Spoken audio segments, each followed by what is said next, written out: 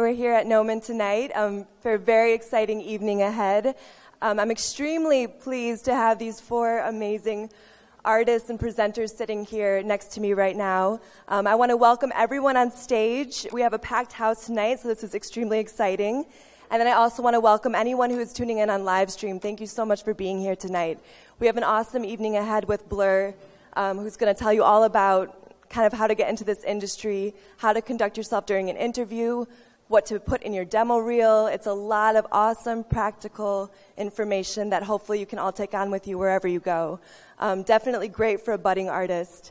So this has been a long, uh, an event that we've been kind of planning for the past few months that started through a brief conversation that Jerome and I had um, on a stairway of Gnomon. So I'm really happy that it kind of came to this moment tonight. Um, I'm really pleased that they're here and that you're all here. So without further ado, I'm going to introduce our artists. We have Jerome Denjean, the head of CG at Blur. Yeah. Hello. We have Monica Haley, the HR and recruiting manager at Blur.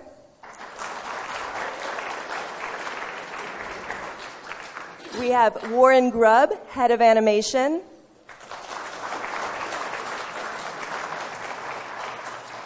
And we have Brian Alvarez, who is a lead effects artist. So I'm going to let them get started. Um, I also want to mention that Blur was awesome enough to also bring with them two additional artists who are in a different part of Gnomon right now, conducting portfolio reviews with um, eight of our students. So I want to extend an enormous thank you to Blur for being so wonderful and bringing all these awesome um, voices here tonight and also contributing to our raffle. Cool? All right, I'm going to get off the stage and let them talk. So thank you, everyone. Well, thank you everybody for uh, for coming. So, I mean, that's a lot of people. Um, thank you for your interest um, tonight. We're really happy to be here. Um, this event started, like Anna said, um, maybe three months ago. About three months ago, we, we came here and we, we saw a lot of demo reels from the from the students and and it just inspired us to uh, to do this event. I mean, we, we could have we've done a few uh, making ofs um, of our projects over the years here, um, but we wanted to do something a little different this time because um, we were here watching demo reels, and why not take the opportunity to? Um, I don't I don't know.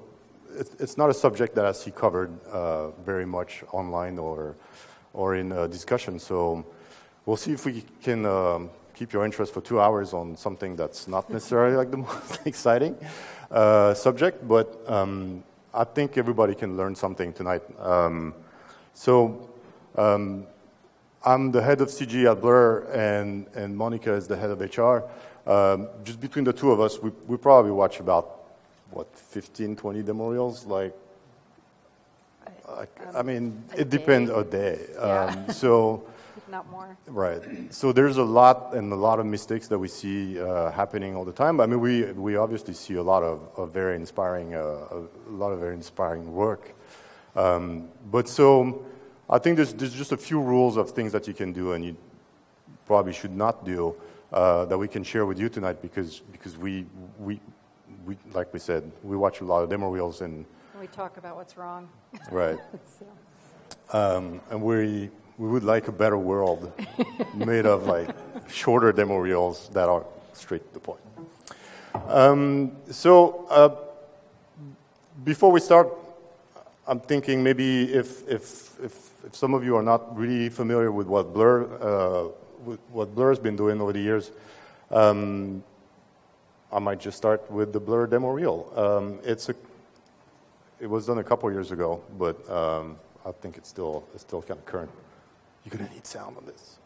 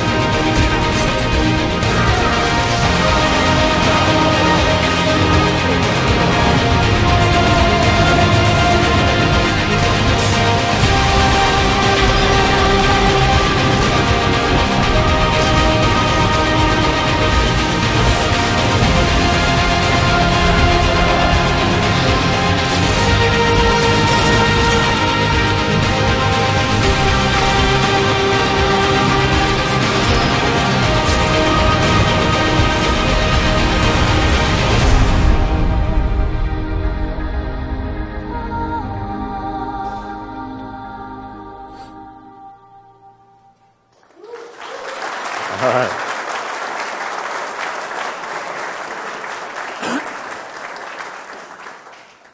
Well, like I said, it's a couple years old, but um, maybe maybe throughout the night we'll we'll play a, a, a, few of the, the more recent projects that we've done over the past uh, the past year. Uh, before we get really started, I wanted to, to to, give you a little tour of Blur.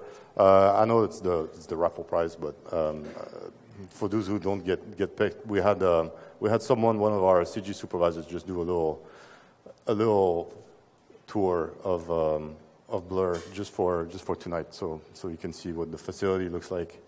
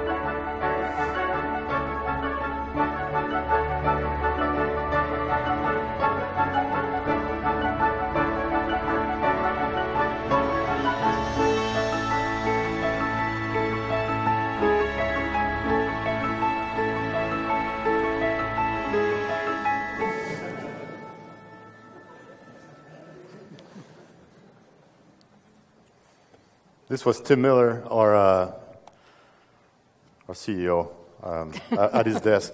He's finishing a Deadpool that's coming out in a, in a few weeks. Um, all right, so um, let's just get started and, and, and talk about those demo reels. So, um, what is what is a demo reel? And I know, I mean, most of you are students here, and so that's probably something that you're working really hard uh, on. Um, to get your first uh, to get your foot in the industry.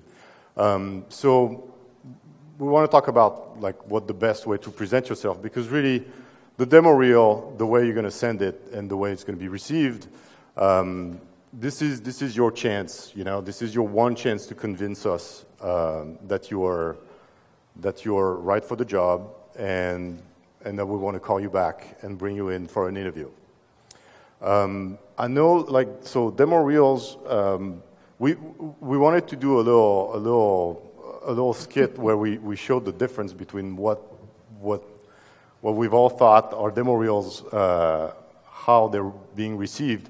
You, I mean, I remember being a student just like you guys, and and and and sending my demo reel after I've worked so hard on it, I, I kind of imagine, you know, my demo reel would, would come into a company like Blur, and then people would just stop what they're doing, all get in the theater, you know, turn the lights down, crank the music up, put some popcorn, just look at, you know, the flying logos coming in, um, and then, and then a few years in, then I realized it's not how it's being looked at at all.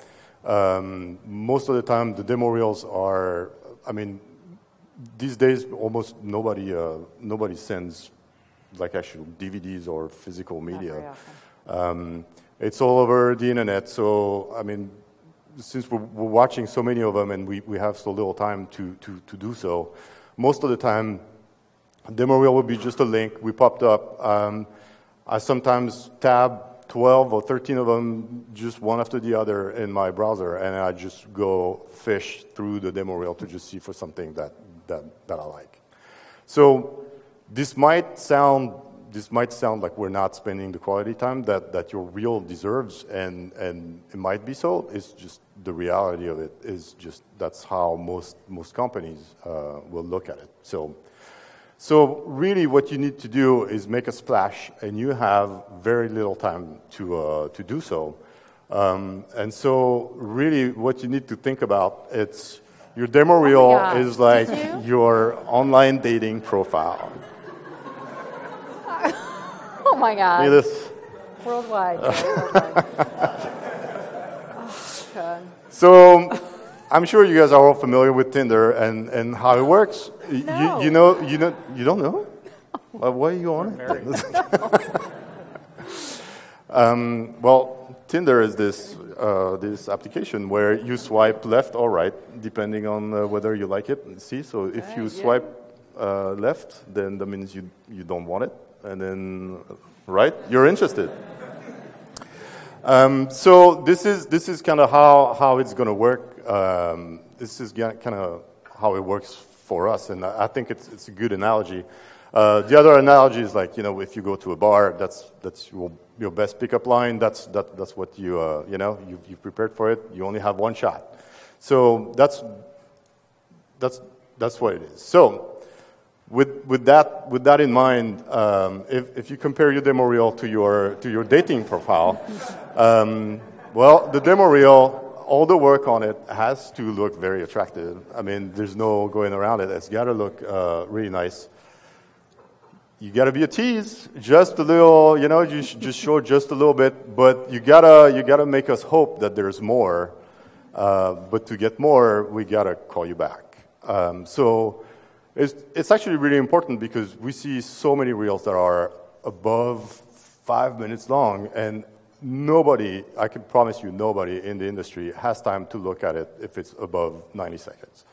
Um, unless it's completely stellar and we have time to like go back because we have like time to spare while we're looking for potential candidates we will never spend more than 90 seconds on a, on a reel and, and very very often much less than that um, so I think you should all shoot for 30 seconds. Um, and the first 30 seconds, they're crucial because if there's nothing in there, I'm going to fish, you know, uh, throughout. And then if there's nothing, then we'll probably move to the next tab.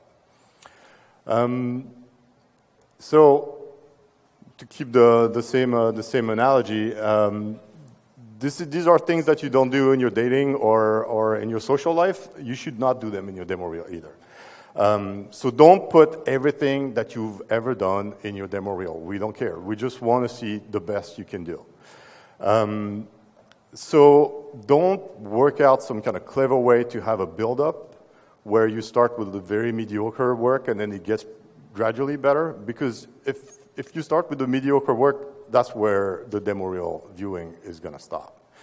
Um, don't have annoying music taste, but I know it's easy to say, but um, this is actually not that, that, that big of a deal because I, I can probably listen to the count on my fingers the amount of times where I've actually listened to the music on a demo reel.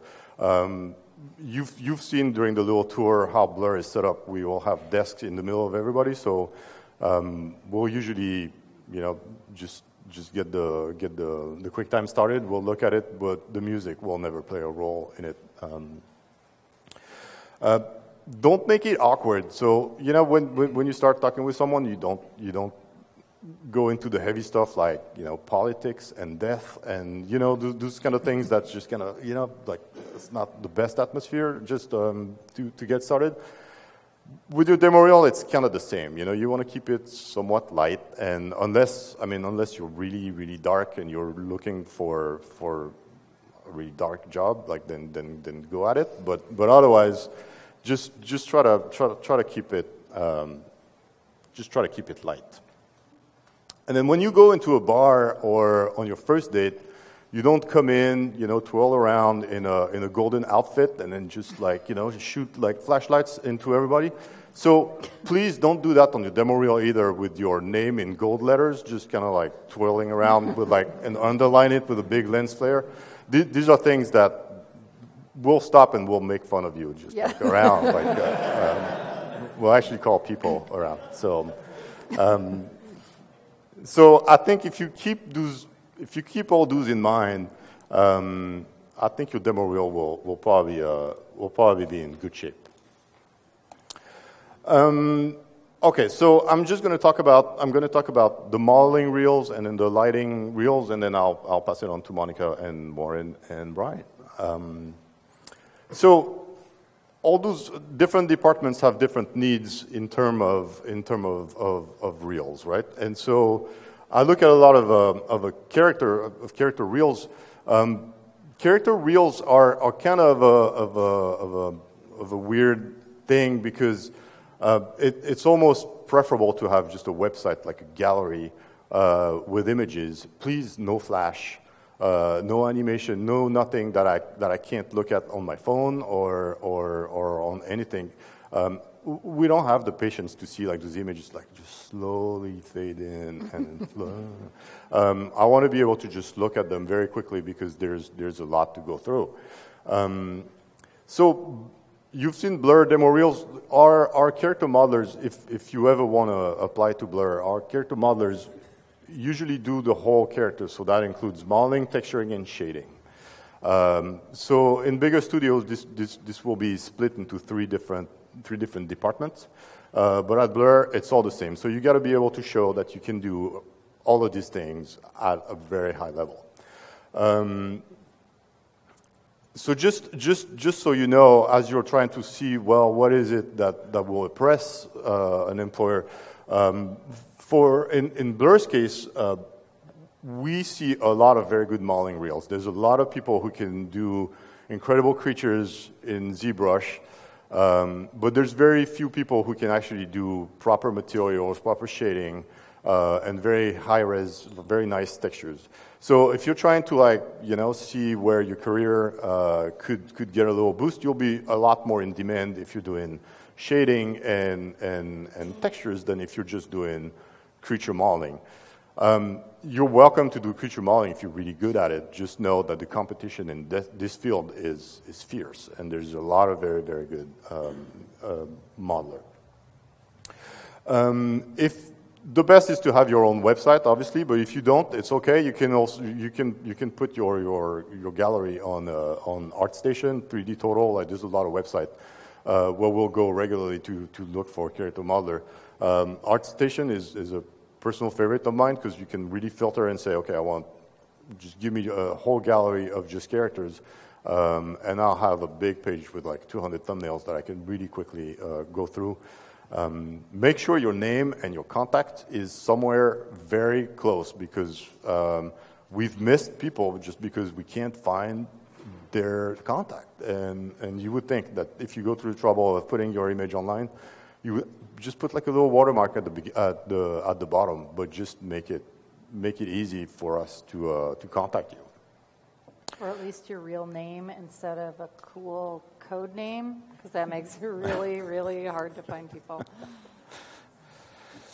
Um, and then if you're if you want to take it to if you want to separate yourself from from from the rest, uh, I'm going to show you some examples of like of successful reels uh, that we've had uh, recently. But if you're doing characters, characters, there, there are our pride and joy at Blur. There are actors. So if you really want to get into the character modeling department of Blur, you got to you got to show that you, you can not only do a model, but that you can you can provide us with an actor. Like so, we need to see that you can you can do attitude. That we can do like we want to see some personality in all those models.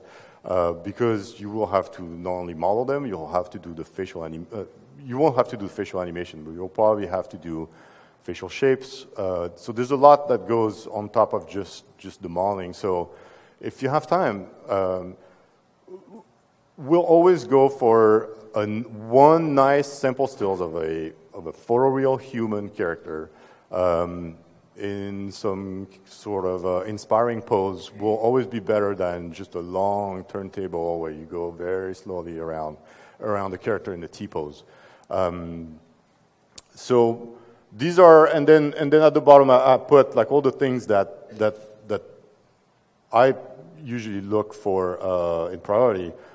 Humans are more difficult to uh, to to do than creatures. Creatures, I know they're fun, but you know, uh, creatures, they're, they're, they're not going to come under the same scrutiny as, as a human character. Um, same deal with like realistic, if you can do a very photoreal human skin, um, it speaks a little more than, than, than a stylized uh, character. Um, if, if you want to do stylized characters, that's fine, but I, I, would really recommend that you put your, your reference right next to it. If you're working for a concept, always put that right next to the stylized because because once you get a job, you will not, we're not going to ask you to, con- to do the concept design of your character and then take it to completion and model it. You will be given a, a, a concept design and you're going to have to match it. So if, if you really like stylized characters more than, uh, than, than realistic, that's fine, but just make sure we can see how, how you executed that, that concept design. Um, so that's, that's that's, these are kind of the rules for, for characters. Um, I'm just going to show you a, a, few, a few demo reels of people that, um, that, we've, that we've worked in uh, recently. So this one might be fam- familiar. Um, Daniel was here last year, right? Um, and uh, and he's worked for us um, on on a commercial and um, on a couple projects, and we're on Groundhog, didn't he? Yeah, he did work on the Halo Anniversary Edition. Um, so this is what, what, what Daniel had to uh, had to show. Um, I, I I love that demo reel, and and I'm usually only looking at mostly realistic characters, but I think he did it right in that he, always included the concept, and, and I think that's a good that's that's a good rule of thumb um, for you guys to uh, to follow. Um, Kai is our most recent hire in the character modeling department, also.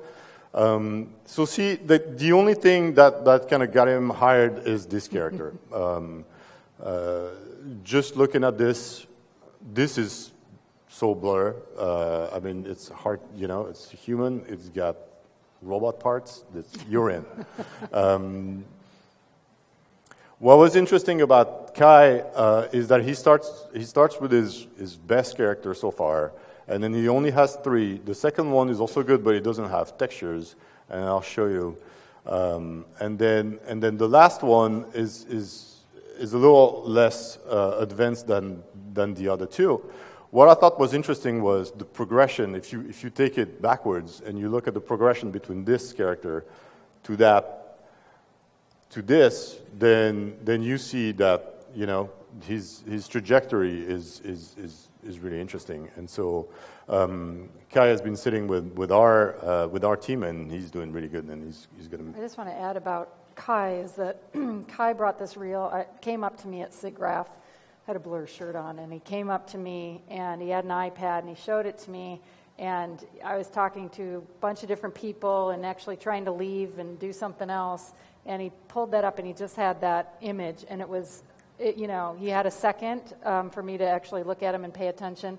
And he got it with that. And, and the other stuff, yeah, not quite as spectacular, but for a, a he was a senior um, at Academy of Art and pulled that out and, and got me for a second, and I stopped everything I was doing to get his, his information because um, because of a, a, second of seeing that. So um, for all those characters, um, most of the people we've hired, we've hired them on the strength of one still. So if you need to focus on something, just work on one still, make it really, really good, and you might have a, you'll probably have a better chance than a lot of mediocre characters. Um, these are just a few people that we hired on the strength of one still. Um, Hassan has been working with us uh, remotely for for about like a, year, year and a half. Um, he actually had on top of this soldier, he had like this very this. I've always loved this this little this little this little piece because it shows that he can do textures. It shows he can do really really delicate uh, shaders, um, and and it's very simple, but it, it shows that he's got a good eye and he's got he's got very good taste in in, in making it exciting. Um, this character might not be the most, uh, the most polished and finished, but just the way he chose exactly where to focus on, I thought was really interesting. Um, and so he's been doing like amazing, amazing characters for us um, for, for a year and a half. Um, James Koo um, has left us, but he, he was our character modeling supervisor, supervisor for, a, for a long time. Um, he, he posted this on, on, at the time, I think it was uh, CG Talk. Um, and and we, we saw it and we fell in love with this, with this image, and we, we brought him in from the East Coast to, uh, for an interview. And then he worked with us for a very long time. This, this is what I was talking about with, with characters that have attitude, that, that, that can show emotion. Just in this still, he showed everything that we need. Um, this guy looks like he wants to work at Blizzard more than Blur, but um, but he's been working with us, and we're very happy. Uh, um, again, he's got it all in this uh, in this still. Uh, Zbynek is also just one still. Um, I mean, honestly, I look at this and I'm like, all right, you are, you know more than I do. uh, Etienne um, is working for us from, from England also uh, from time to time. Um, just great, just great face. Um, and then I'm just going to show you the first. So I'm just going to show you like the first minute or two of our um, of, of, one of our lead character modelers at Blur. He he just assembled that, and I, I just thought it was just it was just cool. So, I mean, obviously, you don't need to, to, to show that much to, to get in at Blur, but you know, this is this is the kind of this is the kind of people uh, that you'd get to uh, to work with um, if you work with us. Um,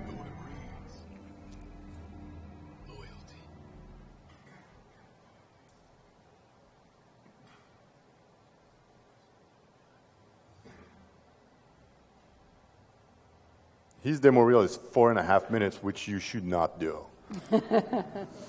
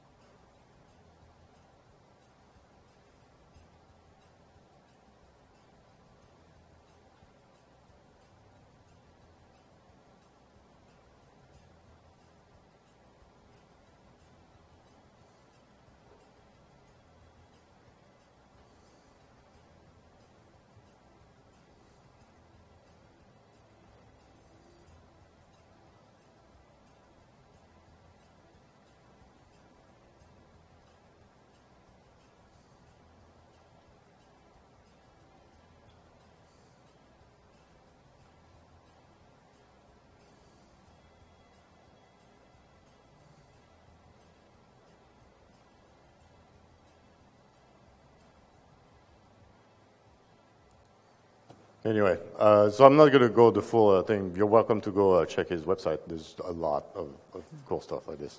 Um, so that's it for that's it for, for, for characters, and I hope like if there's character modelers in the uh, in the room, I hope that that helps out. Um, really quickly, otherwise, uh, the the other type of um, the other types of um,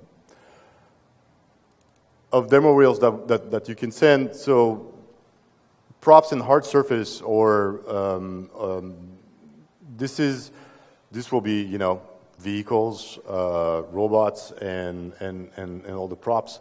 Um, so just so you know, when you are sending your demo reel and you're looking for a position as a, as a hard surface modeler, this is, this is probably the hardest category to, um, to, to set yourself apart to because there's a lot. This is usually what people start with when they're, when they're starting their career. They start to model stuff. Um, so if you want to be just a pure modeler, you're going to need to show something that's very advanced. Um, so to set yourself to set yourself apart from the competition here, I would really suggest just not only do an incredible model, but also spend some time with like some really nice textures and some really nice uh, shading, because that, that will that will give you the edge over the, the competition. People who just model, um, it, it's a little hard for us to uh, to use them.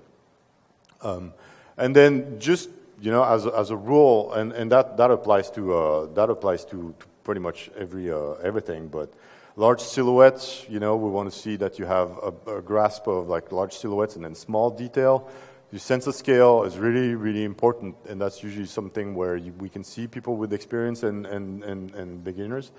Um, and then, and then just the same as, as the um, as the stylized stuff. Always include your reference because if you're modeling from reference, it's really, uh, it's really interesting for us to be able to see how you're matching, uh, how you're matching all this. Um, okay, so uh, these, these, these were, uh, these were people that we that we also uh, hired just from one still. You show me this, okay, you're you're in also. This I don't understand how how you model this. Um, he's got he's got video tutorials on uh, online. Uh, if you're interested, I can give you the, the his name. His name is Chi Veng. Um, he does absolutely incredible stuff. Um, just with this, you're you're in. Um, that's like a little close-up uh, part of of the model. Uh, but see how the sense of scale is, is really incredible. He's got, he's got the, the, the, big shape, and then, and then you zoom in and you see the tiny little rivets, the tiny little detail, the decal. Um, this, is, this is beautiful. Um, if you're going to do a gun, you gotta, you gotta go all the way. And, and, and, and Yaron just went all the way with this. Uh, this is also very, very detailed uh, uh model. And this is, um, this is from Andrew. This is from Andrew Averkin. He's on. He's in. Um, he's in Ukraine. I'm sure he's he's watching this uh, tonight. Um, he's. This is the type of stuff um, he he loves to do. I mean, the the image is on his website. I think it's it's 5K. I mean, there's just you, can zoom in. Uh, and this just detail just keeps coming. Uh, it, it's just crazy. Um, so these are images, just one image, and, and, and those people got the job. Um, and i am just going to show you real quick. This is, this is also from, from one of our uh, employees.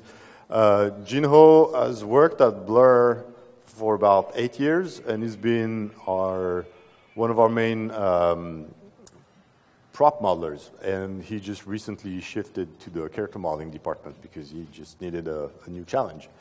Um, but he's done a lot of cars, a lot of guns, and a lot of a lot of swords.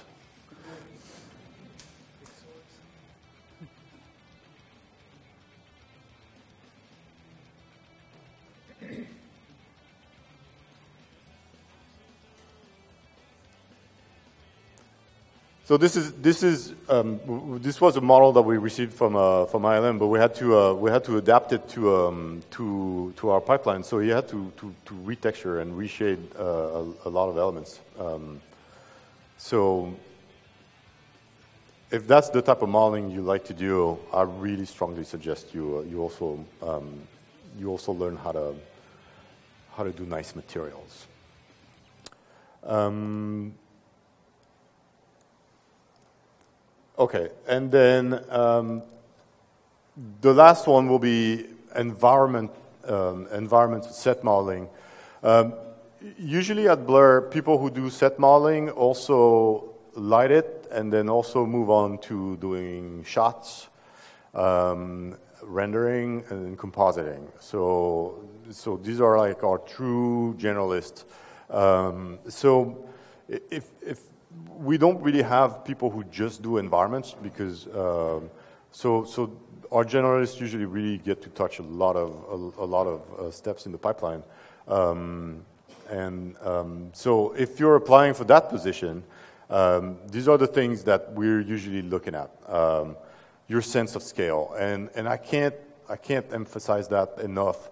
Um, sense of scale in your model sense of scale in your textures. Like there's, if there's something that looks off when you show it to somebody who's not good at CG, if something looks off, then there's something off. It might be the texture on the wall that's not the right, that's not the correct size. It might be the chair that's a little too big compared to like the size of the door. It might be anything. Uh, but really, this is this is the one thing that we're really looking at and we're picking out like immediately from from reels that we're not um, crazy about. Texturing and lighting is just as crucial as modeling, if not even more. Uh, modeling, you know, like I said, there's a lot of very good modelers uh, out there, uh, but people who can do very good lighting and very good textures are, are, are far fewer. So if you want to do if you if you want to do photoreal stuff, then you know it's got to give us pause. We got to be like, hey, is this a photo or is this is this CG? Um, and then again, if you're going for stylized stuff and, and, you're, uh, and, and, this is fine, um, you need to include your reference because we need to see how you're matching all that. Um, photoreal, well, if it looks right, then it's photo real. If it doesn't look right, it's not. Um, so it's pretty, um, it, it, it's a lot simpler.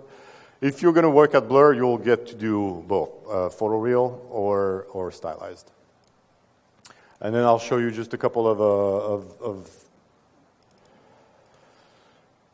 a couple of cool reels of people that we, uh, that we uh, got with us recently. Beat. Where are you, Beat? Are you here? It's probably working. No, it's still working. uh, well, Beat just joined us uh, last ago? week. Last Yeah, week, a couple weeks week, ago. yeah. Um, and this is this is what he showed. Uh, this is what he showed uh, us. Um, so I think he's got a nice sense of, of, of everything as a generalist. I think it's I think it was um, it was great. Um, the sense of scale that I was talking about, like you have it, and and those those birds, they're that's that's the way to that's the way to suggest uh, scale. Same with the atmosphere. Um, I think once you show that, um, I, we can trust him with a with a blur shot. Um, nice sense of scale, nice sense of uh, of shading and textures. I think he can only get millions of times better um, next to the to the people at Blur who've got a lot of experience.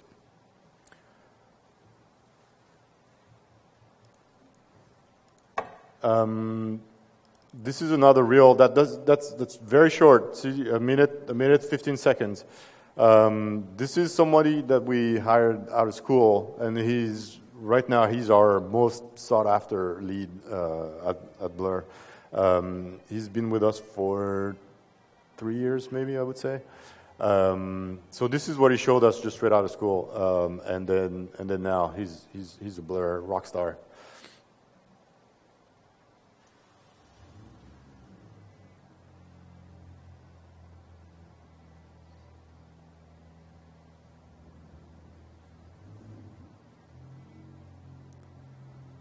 But it doesn't have to be overly complicated. It Doesn't have to be flashy. Like this sh- sh- shows such a good, you know, good sense of lighting and scale. Everything is everything is good. And then the more mediocre stuff goes at the end of the reel.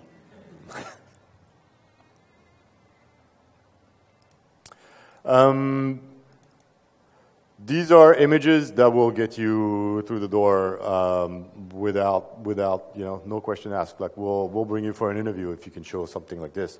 Um, I think this image is like 15k. Uh, it's just, it's from Andrew Averkin again. Um, he likes to just spend a lot of time on his images. Um,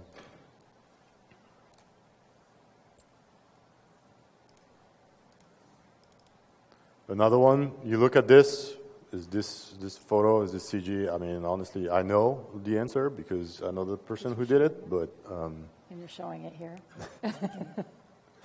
um, so Olivier um, is not with us, unfortunately, but this is the type of stuff that he could do. Um, and then this is the demo reel of one of our Blur veterans. He's been with us for like maybe four or five years. Um, and then um, again, it's breaking the rules because three minutes and 48 seconds, that's going to test our patience. But um,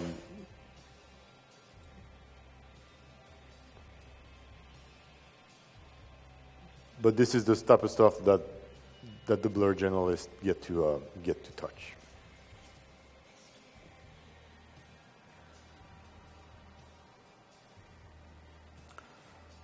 And that's all I have. All right.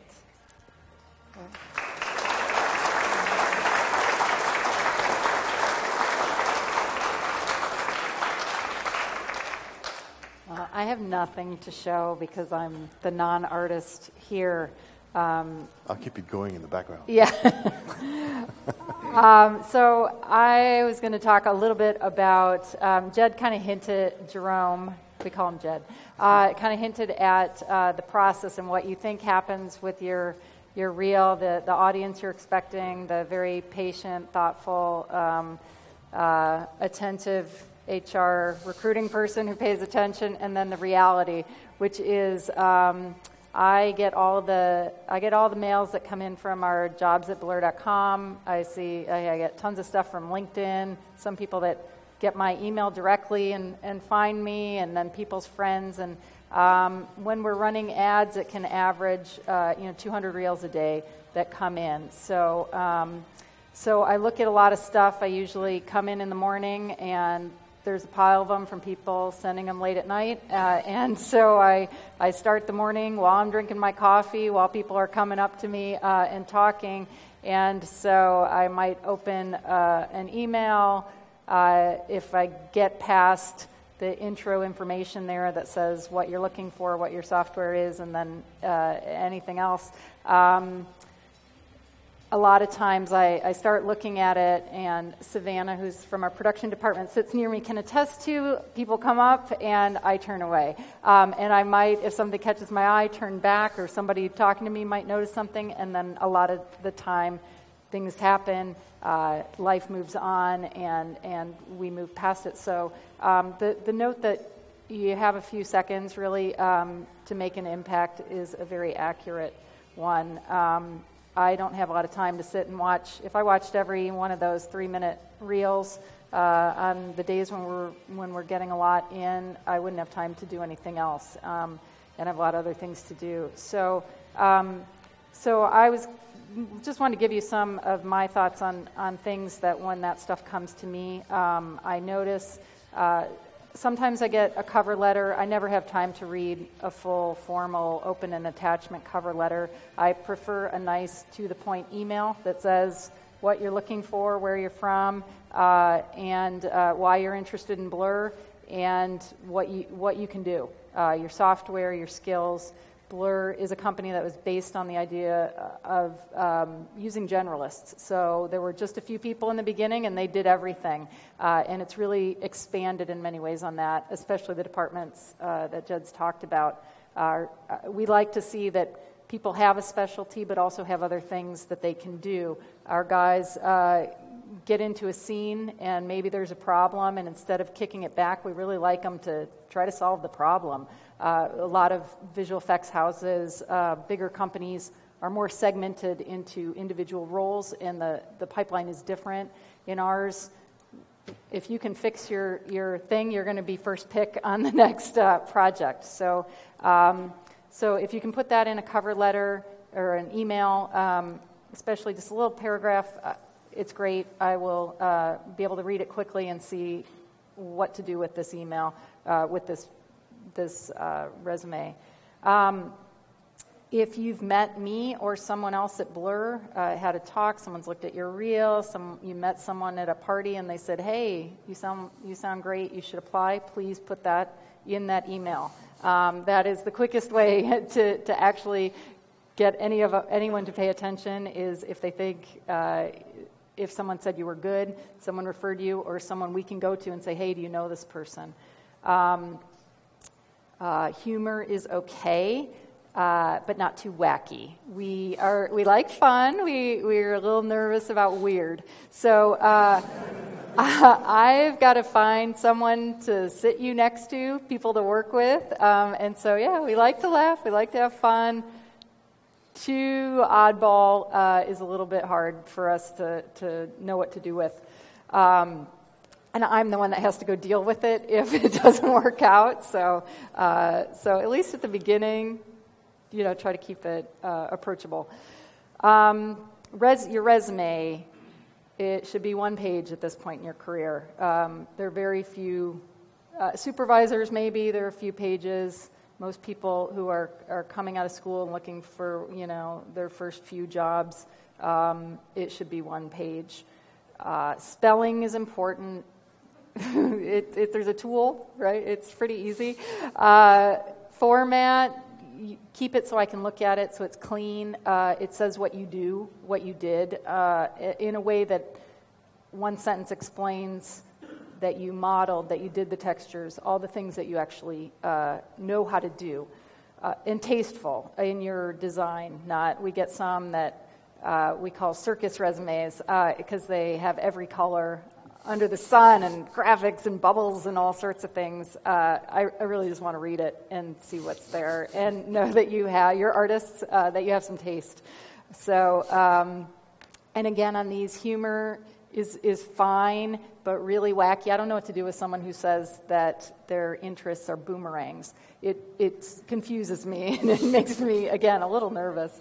So, uh, um, and then uh, the reel, just touching on what Jed said, make your reel good. Uh, start out with your, put your best work on there. The thing that breaks my heart every time is I'll get a reel and I'll see some great stuff and I'll, I'll forward it on to Warren or Jed and I'll say, how about this one?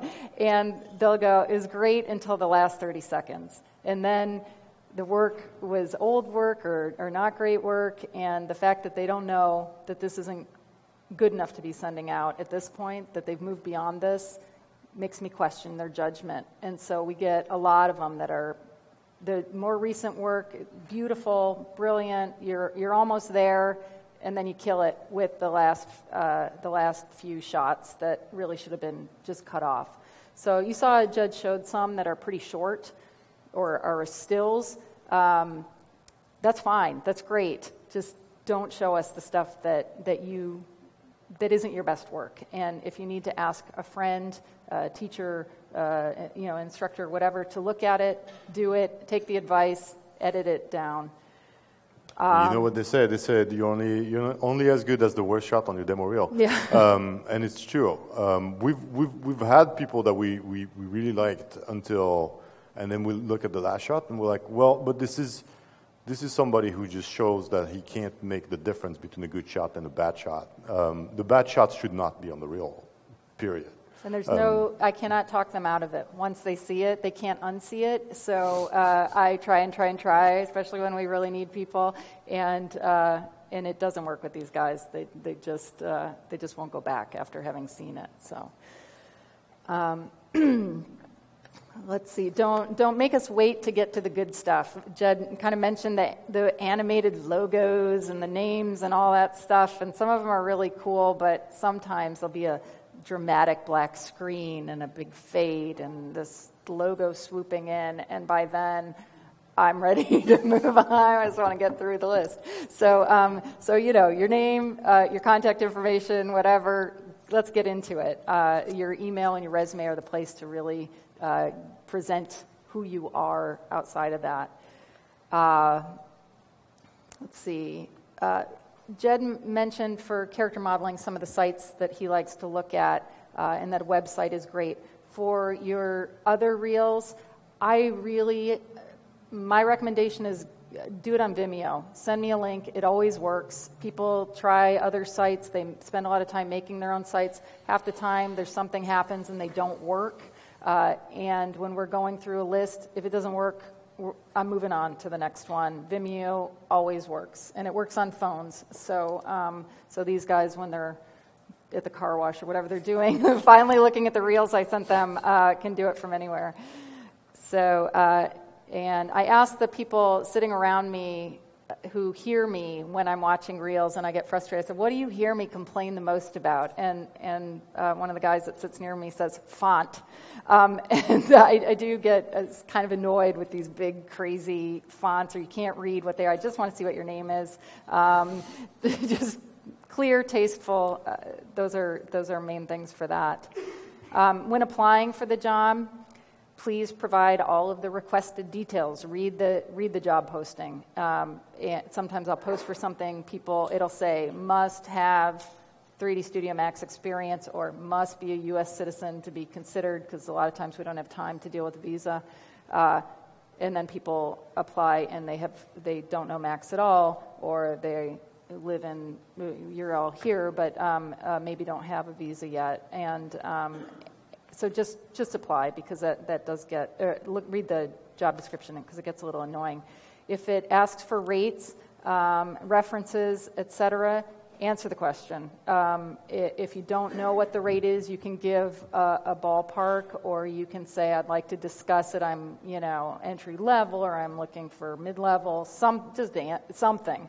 Um, so uh, instead of leaving it blank. Uh, this is a big one. Always include a breakdown either on the reel where it says what you did, what part is yours, um, and the software you used, or give a separate sheet that lists it out. Because uh, a lot of times we get things, and uh, especially if it's a group project, or you were doing an internship somewhere, or you were at another company, we have no idea what you did and what someone else did.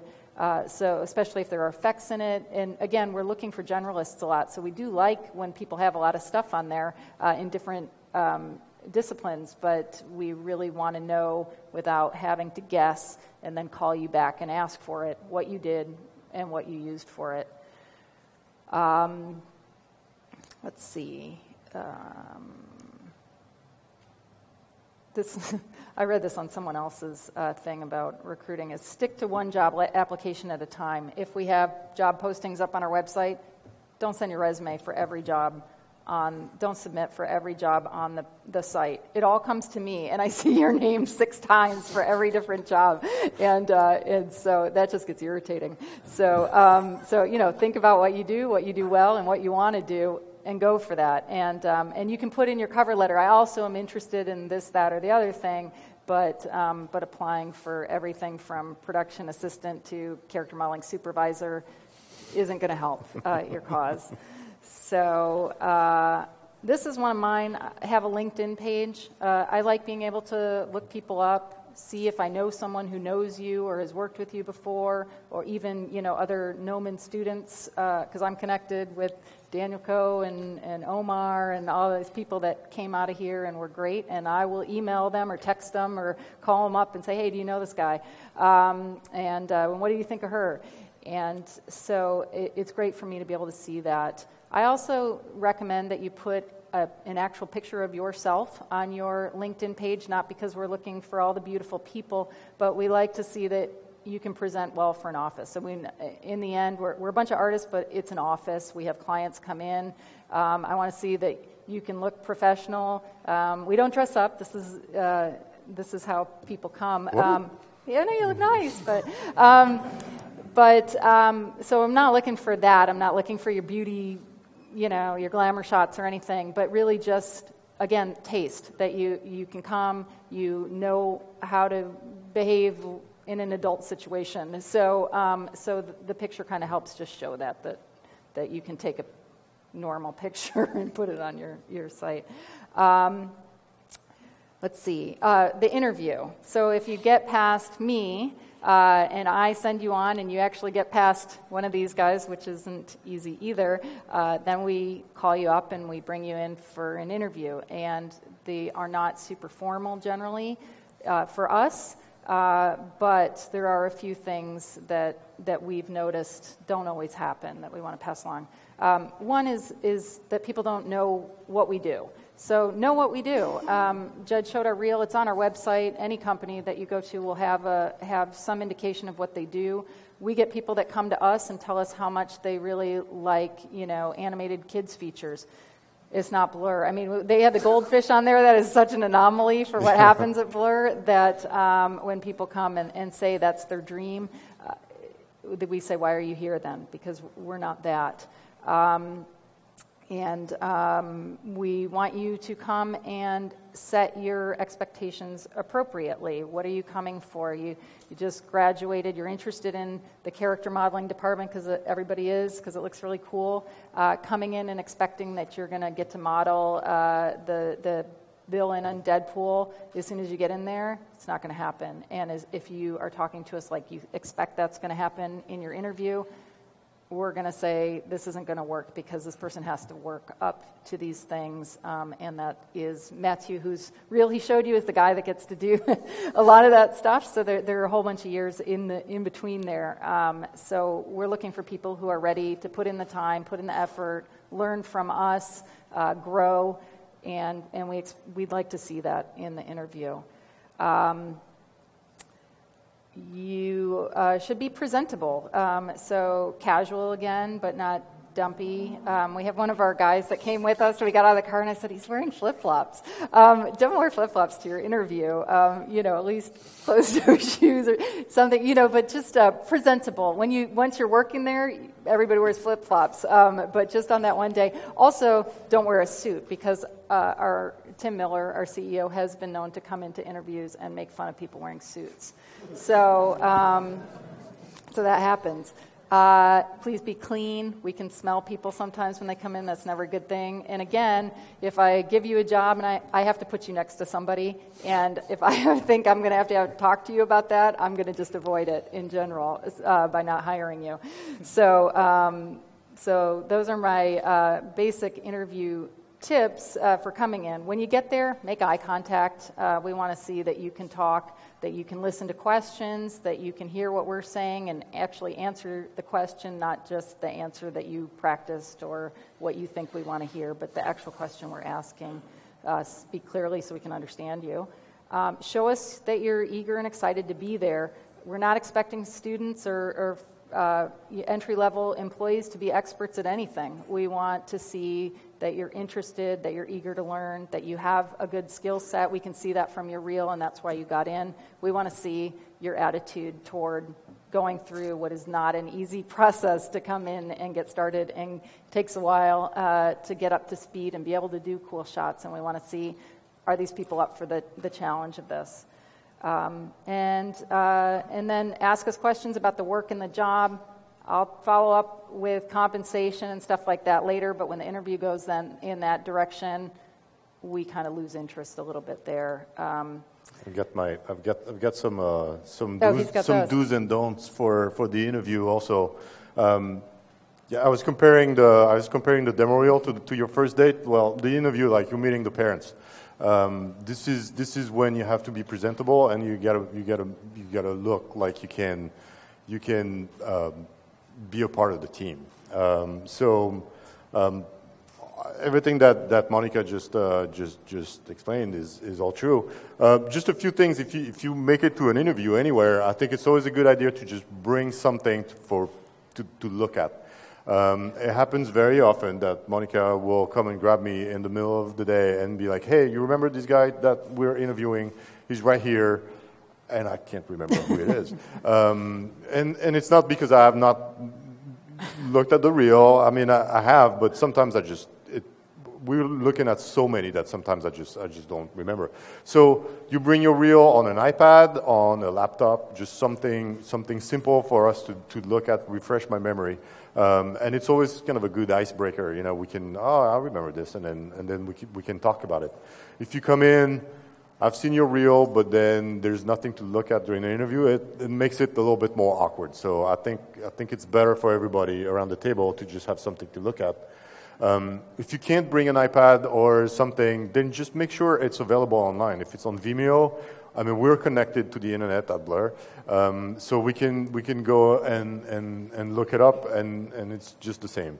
Uh, um, I mean, sometimes people will bring a breakdown that has just little screenshots, uh, and and that's even enough to jog his memory of right. what he's looking at was is a screen, and then what you did. Uh, so that kind of thing's helpful too know who the company is, well, obviously, but you would be surprised. Um, be yourself. Just because we want, you know, if you're really weird, we want to we want to see it right now, um, and, and and plan accordingly, um, and then ask questions. It just it, it's always such a good idea to just kind of come in and you just you can prepare that beforehand, but just you know just just ask two or three questions about Blur or wherever you're going to get your interview. It, it just shows that you've you're showing interest and you're showing that, that, that you've done your homework and you're just not coming in just because, well, there's a job here, so I'm just, you know. Um, I mean, we understand, we're not stupid, we, we know how the job market works, but it's one thing that is always appreciated. If you, if, if you ask a question, you just, you, you score points. Um, the things you should not do. Um, drop by unannounced, like ring the bell at Blur and be like, hey, can I talk to somebody because I, I think I, I think I can be a good character modeler. We won't let you in. Um, you gotta, you gotta, um, and, and believe me, a lot of people try. um, this, you, you, score negative points when you start to do things like that because you're showing bad judgment. Um, so same thing. Don't come in, don't come empty-handed. Like at, at the interview, have something.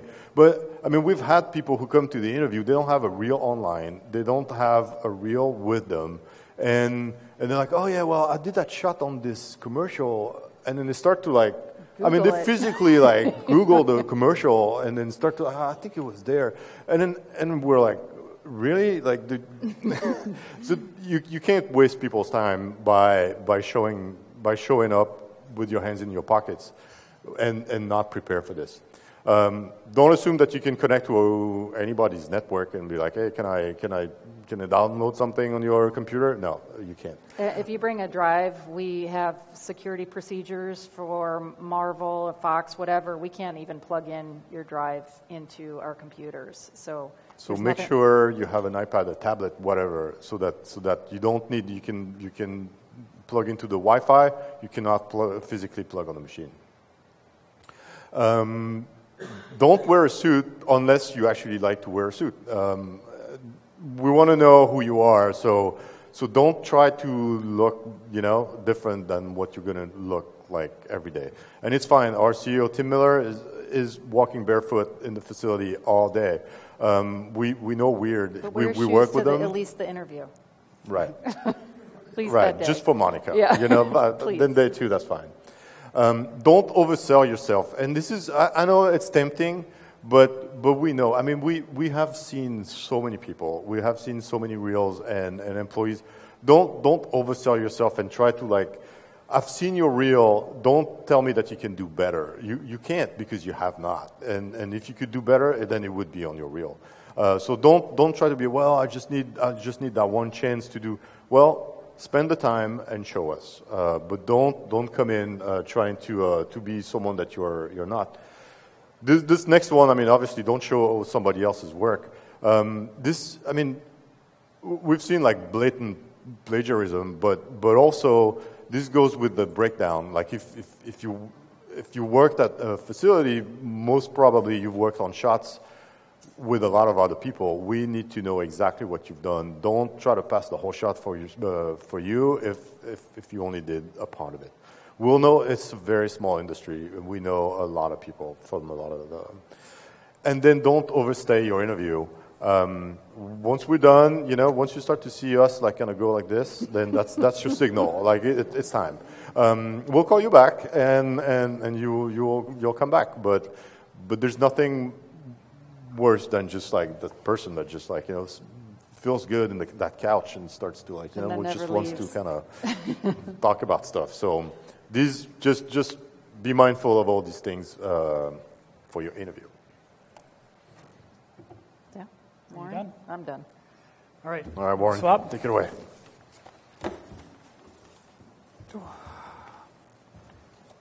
Can they move Just move on. All right. Shuffle the chairs.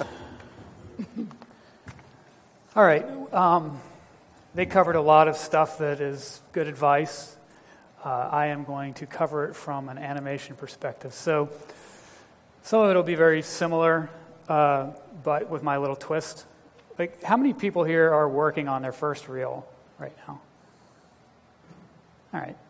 So uh, that, that's good. Um, so I, I want to cover both. I mean, I, I'm going to cover it sort of perspective of assuming that you've, that you've got a lot of work and you're just trying to find the best way to present yourself. And I'll also talk a little bit about um, what, uh, uh, what sort of animation stuff we're looking for on Reels. But so I'm head of animation. That means I, I see all the animation reels and I have to talk to all the animation supervisors so I, I get their perspectives too. And that's very difficult when you're submitting your reel. So it's very important to take all of these principles in mind because you know I have to please several people because especially at a place like Blur, we, we have short animation projects and it's sort of like casting. You know, we, we finish a project and then the anim soup talks to the other anim soup and says, "How did they do?" You know, um, I'd like them on my show or I don't. So I'm showing this to everybody because they'll probably make it through the studio. So if one soup doesn't like your reel, then it's like I have to become almost like a negotiator to say, I see some promise here.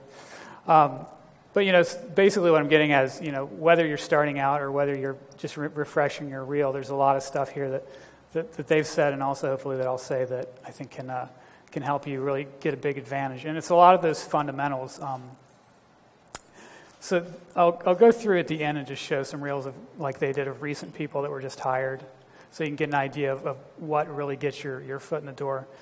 Um, but let me start off with little sketches I made. Oh no. What kind of software do you have on here? That's all I need. Um, all right, so this theme of, of keeping it short. So uh, in animation, it's very similar to what they've already said, but uh, you know, it's, it's the thing of, you know, for animation, we re- really only need to see a few principal things. And um, I know that it's really tempting. It's hard for me every time I make a reel because you, you've got those situations where you're like, well, you know, maybe the, the style that I had on this piece isn't quite what um, they're looking for, so maybe I'll put this other piece on there. Uh, or maybe you just feel like, it, you know, oh, three pieces isn't enough. I, I want to show them I have all this depth and experience. Or you just feel like, man, I know this piece maybe isn't the strongest, but I did a lot of work on it. It that's all stuff you should shove aside. You know, we, we don't, uh, on animation, I think we're a little bit more forgiving. I mean, we don't want to see more than a couple minutes, really. But, you know, if you have a piece that breathes, that's, that's okay. Um, but, you know, you do want to keep it short. I, I think that's, you know, advantageous, and it's one of the things that's so silly that we kill ourselves to try to make things longer when we shouldn't, and, and it only hurts us. Um, so, on that topic, you know, the quality over quantity, um, there's a lot you can be said for that. So, uh, again, you know, you just want to make sure that if you do show something weak, it actually damages you. So, uh, what I would recommend for an animator is, you know, get get one acting piece. It's all you need. I don't need to see three. And I know that we do a lot of experimentation. You know, maybe you're an 11 second club or something, and you do these pieces. Just take the one that you like, and and finish it. Because what I see most of the time is I see a lot of people have good potential, but they see they do three pieces halfway. You know they maybe put 10 to 20 hours in one piece and they get tired of it and move on. We, we don't need to see that. We need to see the one that works.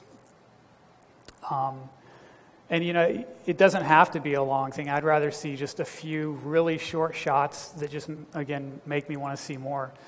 Um, I, I always recommend just send something that's so short that you have to have me ask for more, which I do a lot. Monica would, would attest to that. Like they might show something, I say, um, do they have anything else I can see?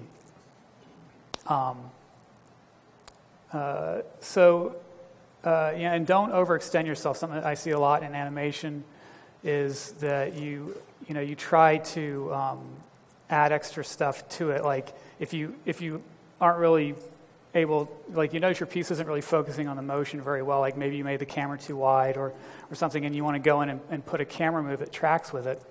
If you're not good at cameras, just either get somebody to help you and do that or, or just don't do it. You know, just do a couple cuts to, to showcase the work. I mean, I see a lot of animators that just have it too wide, and I just really can't get in there and see it. But then I see other people who um, go over the top, and, and then you're outside of your real uh, area of expertise, and then that's just gonna it's just gonna hurt you in the end. Uh, keeping it simple. Um, you know, this some of the reels the guys have already shown you tonight are, are very, you know, very much the formula I like, which is just a simple title card, your shots as straight cuts with their original audio, no montage needed, and uh, just your breakdown on the reel. So you just have it maybe at the bottom, so I don't have to look at a breakdown sheet and figure out, you know, what's going on. Um, and maybe maybe an end card, but you know, honestly, nowadays we're usually just looking at on a streaming service, and I don't need to see credits and stuff rolling. So don't knock yourself out with that. Um, and keeping it cuts only, I think, allows you something that, that's really important. I think it's probably overlooked a lot. And That allows you to juggle your edit. So um, I, I think you should always focus your, your reel to the person you're sending it to. So you're going to be recutting your reel every time you send it um, if you do your homework and if you care about where you're looking. Um, when it's cuts only, you don't have any montage music or anything like that, then that's just a huge advantage. And it also comes up later in another topic I, I have. Um, and then your animation, you know, again, simple. Do not render it. You don't have to, I mean, it's fine if you want to do this, but not at the expense of the quality of your work. You know, so if you're not a lighter, scene assembler kind of guy, then just do a play blast. You know, you can you can do a play blast with maybe ambient occlusion on in Maya or something, so you can see contacts for feet. Um, but you don't need to try to throw in lights and do, you know, a render that's subpar and just muddies up. You know, if you really want motion blur, like maybe you can get somebody to help do something really simple, but there's nothing wrong with just straight play blasts that, that look good. Um, and then uh, going all out, that's something I see a lot too, where people try to sort of be more general. And, you know, it's fine if you're applying for a more advanced role that might be like supervision, because supervisors at, at Blur um, have to do a lot of um, editing, and, and we, we, sort of mix in the different departments. And that's, you know, when I applied at Blur, mine was very highly produced, but for animation, there's no need for that. And I'm targeting people right now that are just looking more for, for animation positions. So in that situation, there's, there's not going to be any advantage to, to really doing that, and it can probably just hurt you, and it takes you away from the target, which is those extra hours you could have put into refining the, the motion you do have. Targeting. So, uh, again, this is what I was saying and what they touched on. Do research on the company you're applying to. One of the big problems we have at Blur, as you saw from our reel, is that we, we mix a lot between projects that are photoreal and, and very stylized. And uh, it's, a, it's a difficult um, mix to be in, and I think it's really, really challenging for animators. Uh, even, you know, the people that are there, you know, we, we, we're on a show where you're just fully engrossed. You know, I was just supervising Deadpool, and, and everything's got to be mixed with live action and looking photoreal, and then immediately go and work on something that is, you know, all super cartoony and, and applying all kinds of squash and stretch. So um, when you do apply at blur, you're going to want to put, a, you know, ideally a mix, but you got to make sure that you're putting any sort of mocap realistic motion that you have on there if you have it. You know, I have people who sometimes I do request to see that, and they'll say, "Well, I've done that, but it wasn't my favorite work." It's like, "Well, you want to work at Blur? You're going to be doing that kind of work, so it's important that you understand that." And and also, I've had people who say, "Well, you know, you see my keyframe work." I can do mocap, and that, that is not true. I mean, it can be true, but it's not a given. So we've had a lot of people who spent a lot of years doing phenomenal keyframe work, and they just crumbled under trying to do the level of, of animation. And if you want to, if you want to make my supervisors really angry, you start saying that it's easy, because uh, we've, you know, like I said, we had people like, you know, when when studios. Um, we'd get these people who had phenomenal reels with 10, 15 years of experience, and we just had high expectations. You get them in, and you just realize they don't have the eye and the temperament to be able to do that. So we're very critical of that realistic physical animation. Um, so it's really hard for me to get a full keyframe reel through um, my supervisors and get them in even for an interview. Um, and even if it's not your, you know, you know, if you, if you are phenomenal at that and you have something, that, again, that's just one piece that, that shows that, then I can get your foot in the door. But, um, and then, you know, again, knowing the studio helps you a lot in the interviews. It shows that you're interested. It, it, I've had people, like I said, where they might not have that reel that impresses my soups, but when you talk to somebody and you know that they know your work, they know Blur, and they want to do what you've done, then um, you know it can give you some confidence that when you get in there, you're gonna you're gonna work to pick it up and, and learn really quickly. Um, you know, because again, if you haven't done your research and you come in and you just want to do stylized keyframe all the time, you're not going to be happy, and we need to know that up front. Um, competence. So this is just about the actual presentation. And I think, you know, being animators, uh, actually, we're not too tough on weird. Weird's okay for us. Um, that, you have to take it with the territory. But uh, what I do see a lot with animators is, is, you know, we're very, most of us are very, very artsy, and, and a lot of them aren't as technical. So we do have to be technical in our animation at Blur, but that it doesn't. It's not such a level that it should be that scary. But when you giving your reel, I mean make sure you're, you're this is funny seeing their reels because everybody's so phenomenally detail oriented, but with animation, make sure you have clean, clear copies of your work.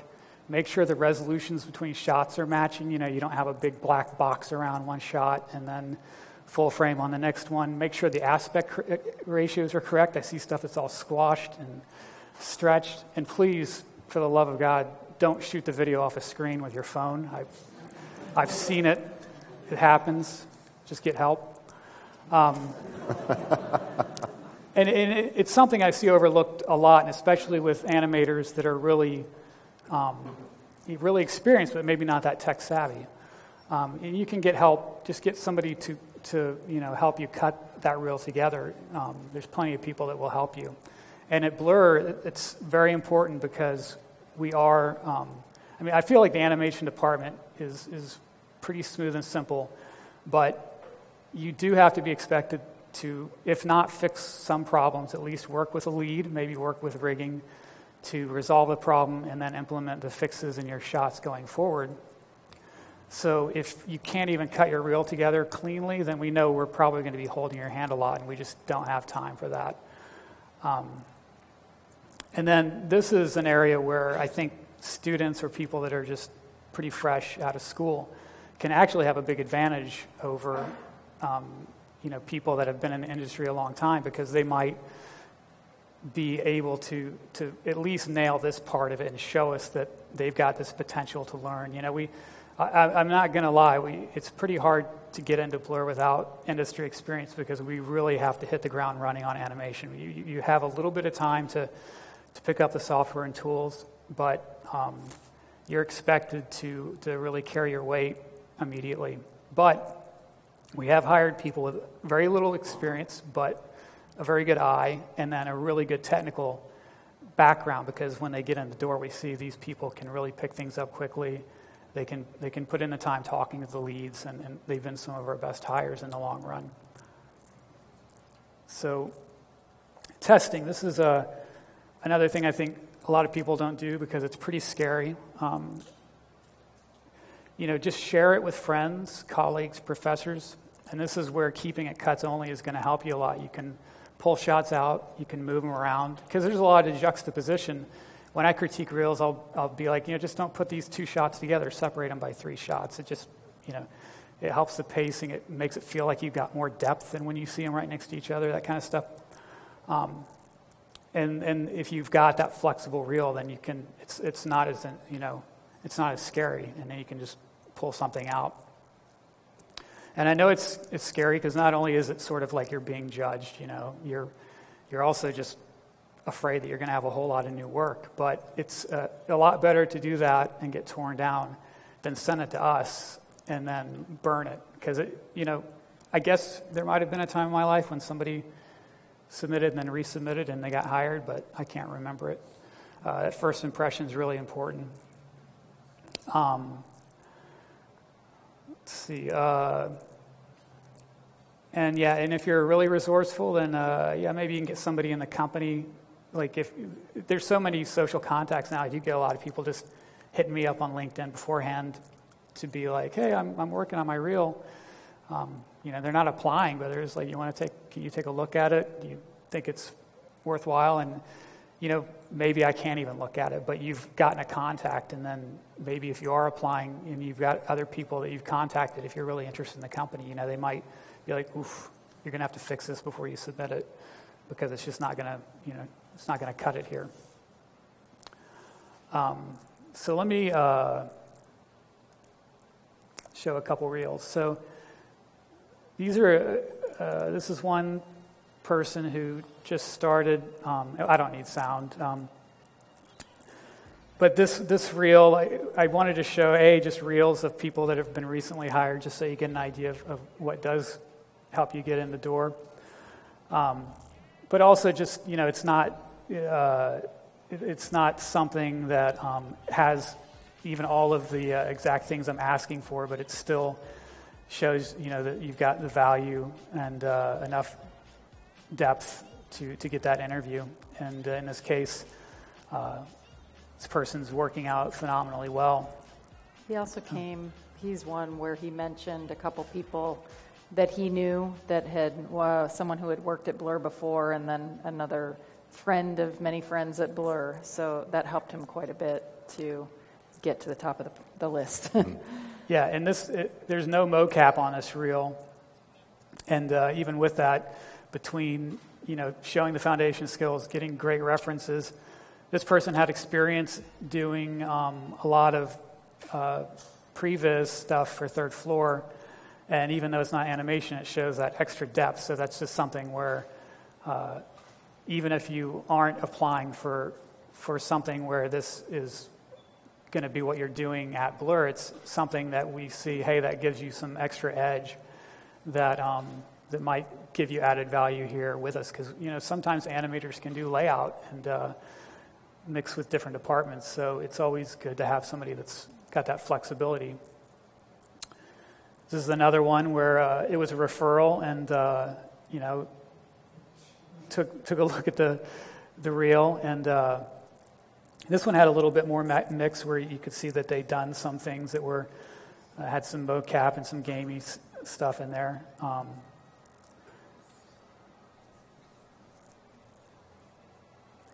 been a lot of people from PSYOP recently.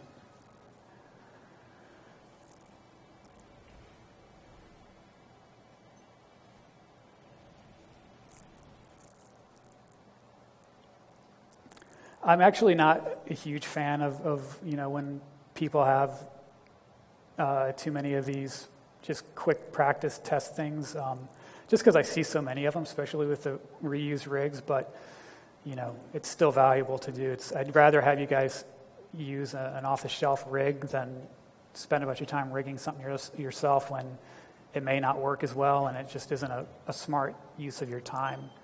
So this last one I just showed is an example where I asked for a little bit more because it was an interesting reel, but I didn't see anything that um, really gave me a lot of confidence that he could jump into uh, repurposing, cleaning up mocap, and adding performance to mocap, that kind of stuff. So, you know, he'd done this work um, on some game cinematics, and it, it, just showed, okay, you know, this this person definitely has experience with processing mocap and all the challenges you, you get from that, and, and it was pretty clean, especially for game game engine limitations. So. Um, you know, even if you don't put something on your reel, don't think, oh, I may not be able to show this. Just put your absolute best things on there and then hope that we say, hey, that one shot was really promising. Um, do you have anything else that can, can flesh it out? You know, on the opposite extreme, I, would say um, just be careful that. Um, oh, wow, this, thing's still open back here. Oh, look at that. Uh,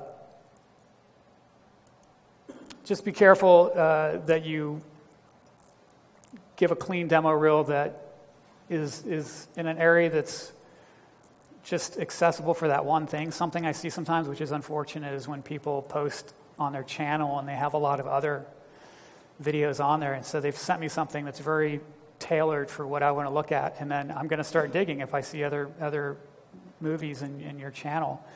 And if I see really weak work, it's like they said, you know, you're like, oof. Um, you know, if it's several years old, maybe just take it down. If it's several years old, it's probably not going to bother me as much. But, you know, it's just, it's just um, muddying the waters. You know, it's just making you question, like, does this person, uh, like an example I can give you is like they might have really strong um, mocap stuff, and then I see some keyframe things they have on there, and I'm like, ooh it's, maybe it's best I sell that because if we had them in studio and they had to go to a keyframe show, it might be an uncomfortable situation that didn't work out, but maybe they'd be stronger by then. So just in your, you know, in, in the interest of yourself, you know, if something's not great, maybe hide it. You know, just put these things out to us of, of what you really want us to see so that we don't end up finding things that you didn't intend for us to look at. Um, so again, just a recap of those general good practices: um, two to three minutes at the max. I've um, got no problem with looking at something that's 30 seconds, but um, cuts only, no montage, no music. Um, don't spend any time on anything that isn't going to uh, really sell your animation. Put your breakdown on screen if it's necessary. You know, if you just did all the work, it's not really necessary. Um, and then that technically sound presentation so that we know that you've at least got if, if not the talent, the resourcefulness to find somebody that will help you to put it together in a presentable way. Um, that's all I had. I, am sure you guys will probably have some, some Q&A because I, I, I, didn't get in any specific, specifics of what kind of work you you know, that, that we want to share. If you want to ask about, like, you know, the kind of acting pieces we see or our preferences for that. But um, we can get that afterward because I want to turn it over to Brian. No, let's do it again. I can go.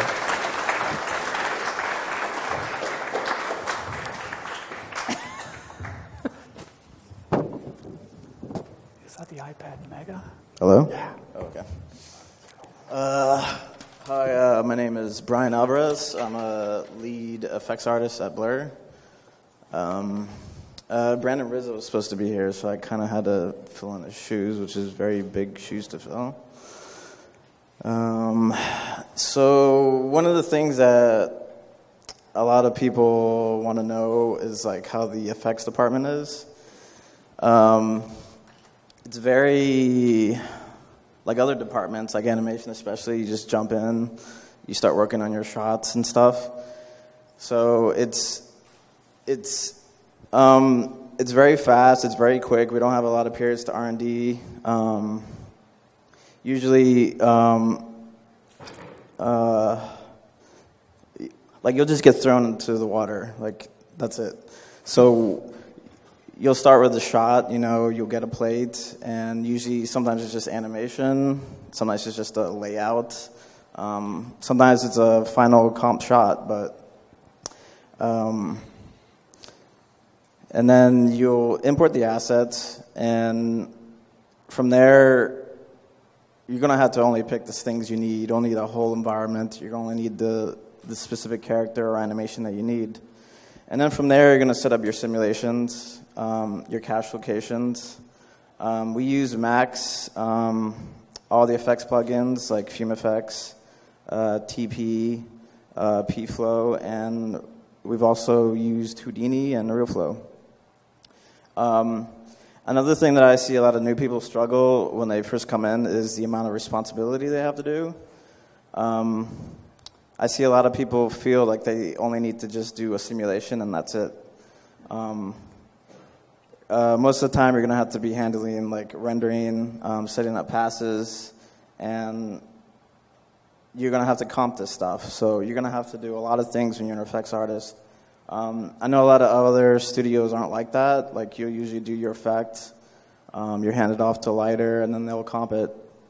Um, at Blur, you have a lot of responsibility as an effects artist, and sometimes it could be a lot and too much, but sometimes it's a little reinvigorating. It's exciting, and when you see all these shots and all these reels put together for our company, um, it's really rewarding. I was actually going to show demo reels second, but I'm going to show some examples of like of um, real life, but what we look for in FX reels. So I'm going to sound like a broken record player, like what everyone else said, but it's you know keep it simple. Um, don't focus on things that you're not applying for. If you're doing um, in effects reel, you're going to want to do things that uh, are natural phenomenons, whether it's like fire, smoke, magic. Um, I don't want to see like a very complex transformer shot because, for one, you're just one person, you're not a whole studio, so it's not going to look as good as ILM. You're going to want to do something that's very simple and great. And that leads me to the next one, which is quality over quantity. Um, I'd rather see one amazing box explosion than 20 bad uh, building collapses, you know.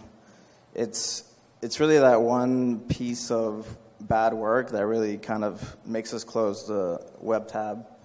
Um, I've seen a lot of reels where they, they have a lot of good stuff, but then when they show that one bad thing at the end or something that they're not really focusing on, um, it really que- makes me question your judgment on, on whether or not you know what's good or w- what your responsi- responsibility is as an effects artist.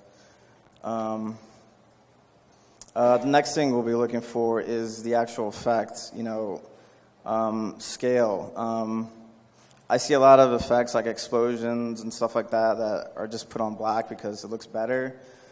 But, you know, if it's supposed to be a nuclear explosion, put some visual landmarks like a building or a person. um, show what the scale is of the effect. If it's a candle flame or if it's a huge explosion, you know, I want to see something else with it to show the scale. Um, also, motion. Uh, sometimes I'll see like crazy camera movements, um, things that aren't related to that helps the effect. I rather just see a still camera, maybe some camera shake of an explo- from an explosion, but I want to see the effect. I don't want to see crazy cameras or uh, something that's not related to the effect. And since most of the stuff is simulated, your motion is going to be inherited by whatever whatever it is you're breaking or whatever is moving, whether it's like a gun or an, uh, a ship exploding. Um, so it's very important that you know the scale is correct because it will affect the motion of whatever you're simulating. Um, and finally, the look. Um, like I said, uh, a lot of us are going to have to comp and render our stuff, so you're going to want to look at real footage of, you know, fire and water, um, what they look like under different lighting conditions. Um, so all of these are very important when it comes to the effect, the scale, and the motion, and the look. Um, and like I said, always look at the real world. Um, like 10 years ago, YouTube wasn't around. We're living in a great um, time where we can just watch anything online. So just a lot of these um, things that happen in the world, like volcanoes and lava, where you don't have, really have access to, you can see it on YouTube. So always look at the real world. That is your best reference, and it can really help you um, make your reel that much better. Um, uh, another thing, too, um, is breakdowns. Um, sometimes we'll get people who've worked at other companies and they'll have this one shot that was amazing, but then we'll see the same shot in another person's reel. So it's very hard to know who, what you did. So it's always good to put in text or whether it's like a preview or um, a rendering by itself of what you did exactly. Because if you worked on the ILM shot with the robot braking. Um, how am I going to know what part of it you did? So, but I'm sure some of you are probably new, so you have that advantage of being able to do previews and stuff like that that you wouldn't have at a bigger company because you know they have stuff locked down and stuff. So it's always good to have breakdowns. Always show uh, the techniques you used. Um, sometimes it doesn't even have to be from the same angle of the effect. Um, but yeah, that always helps. So these are the things we're looking for. Um,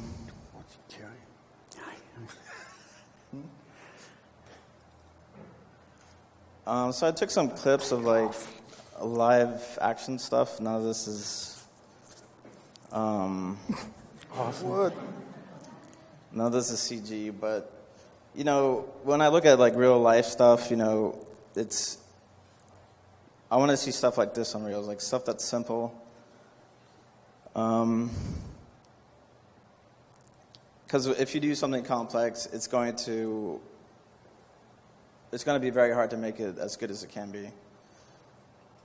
Um, we're always going to be having to do gun shooting, tanks shooting, explosions, um, impacts, debris. So these are all great examples of what you could put on your reel. This is uh, an example of what gets.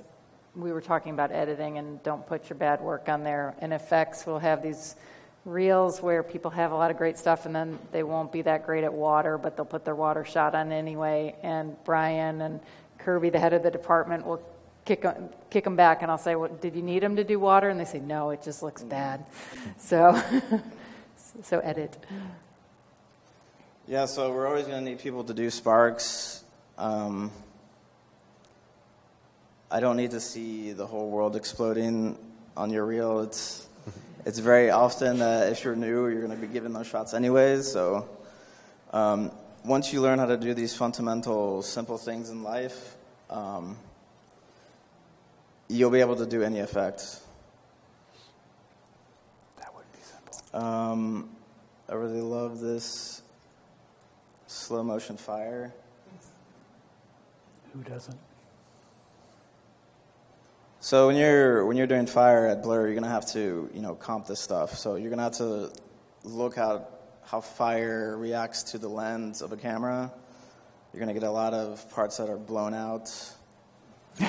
um, um,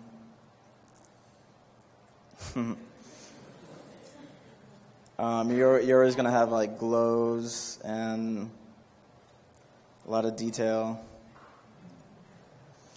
Uh, um, we're always going to have to do gunfire. Um, these are the kinds of things I want to see. Simple, yet it, it shows that you know how um, these things work.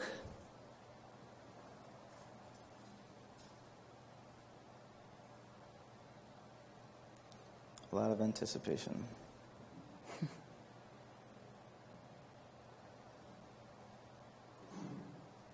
So I have a lot of slow mo stuff. I mean, we we do do like matrix stuff sometimes. Um, it's I wouldn't say very rare, but it's not very common.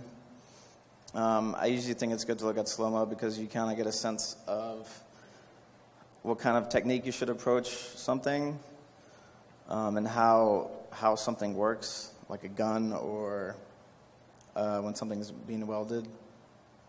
Um, this is pretty crazy.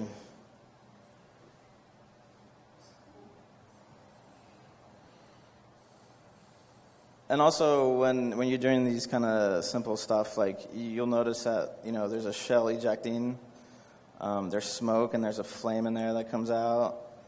Um, there's smoke coming out of the barrel. There's these sparks coming out. They're bouncing off. It's causing this to combust. You know, it's just like these small little things that um, will help you reel that much better if you take a simple if you take a simple approach. Um, someone showed me this and they wanted me to show it, but I, th- I think it's okay. It's like a Warner Brothers movie kind of collapse. I mean, this is silly. I mean, it's ridiculous, but you know, if you just take something simple to collapse, um, there's a lot of things going on with something so simple. I mean, you have the charge from here that makes the leg break. You can see the this post starts collapsing, and probably the bottom is broken off, and then it starts bending, and then the parts that aren't jointed really well kind of fall off, and then you have the smoke from the explosion and the impact. So there's a lot of elements that go into such a simple little kind of thing, and I mean, sometimes our a lot of our shots are really quick and fast, but there's a lot of these little details that we put in there to make it feel like atmospheric and um, um, enhance the shots that the lighters and animators do. Um, I thought this is a shameless plug for CNN. Um, so this is a pipe bomb cooker bomb, yeah, pressure cooker bomb. So it's hard to tell how big this is, but this post is probably the height of a person. So this very small little thing causes this huge combustion. So there's a lot of elements here. I mean, there's the the initial um, explosion. There's kind of like a shockwave effect. You can see it distorting the background.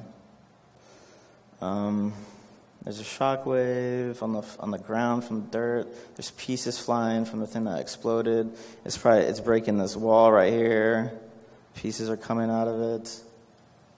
And then when you watch it real time, you know, it's very hard to see those details, but sometimes you have to put them in there. Um, that's all of them. Oh, here's a nuclear explosion. So again, there's, there's really nothing that shows scale of this because it's by itself. But if you were to put like a building here to show how tall this is, then I'll know, oh, okay, this explosion is moving at the right scale. Um, and this would be com- probably composed of different elements like the main plume, the shock wave on the ground. Um, these things on the side might be considered a mistake, but it does happen. Um, sometimes ha- what happens in real life does not mean that you have to put in CG because sometimes it might not look right or it'll make the shot look weird. So there's some things that you shouldn't always do. Um, but it helps give you a good direction on on where to start. Um, I think this is the whole thing. I'm not going to show that one. All right, so there's some good reference. Um, so here's some examples of some demo reels of people that currently exist there. These are actually some of the reels I sent to Blur. Um, uh, I'll, just, I'll show his first. Actually, um, he has some Blur stuff on here already, but he didn't have one without it.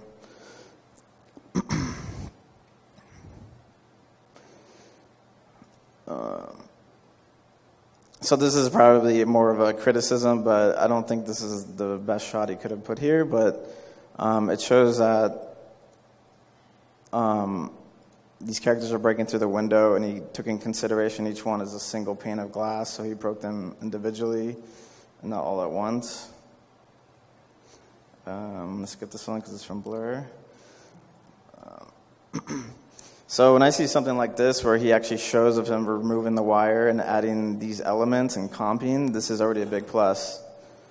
Um, this is very well integrated into a live action play, which we don't do uh, most of the time, but it's just showing me that he's able to integrate something into a shot.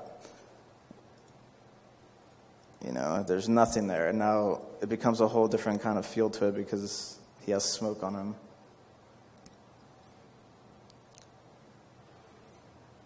Mm, these are pretty interesting. These are more, probably a little bit more stylized. But again, this is showing, you know, he has a good sense of, of lighting and compositing.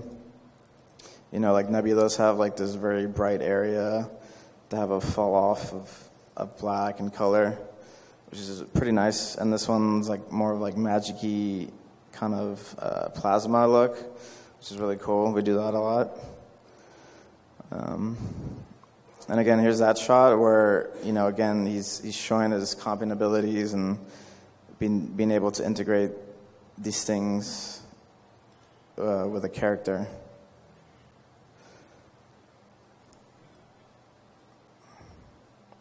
Flying logo. This blur work. Um, so this is really cool. So, you know, there's barely anything on his face and around him, and now it's like he becomes even more menacing because he has all this smoke. Some cool fire. And and one thing that I like about this, uh, a lot of people don't pay attention to, is you'll notice that there is some sort of distortion over the whole image. And that's because, you know, when you look at heat, it, it distorts the, the air around it. So you're, this, just that kind of attention to detail is, is really what elevates this uh, above everyone else. Obviously, the heat distortion itself is not going to make the effect look better, but um, it's just those little details on something that's, that's working really well um, better.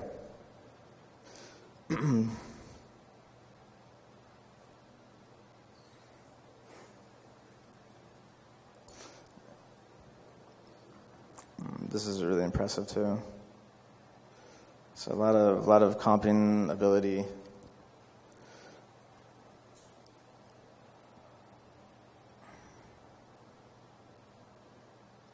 Uh, another thing that I notice that a lot of new people struggle with is is they will you know focus on this one preview of a certain effect and just keep looking at it day after day after day, making new iterations after iterations.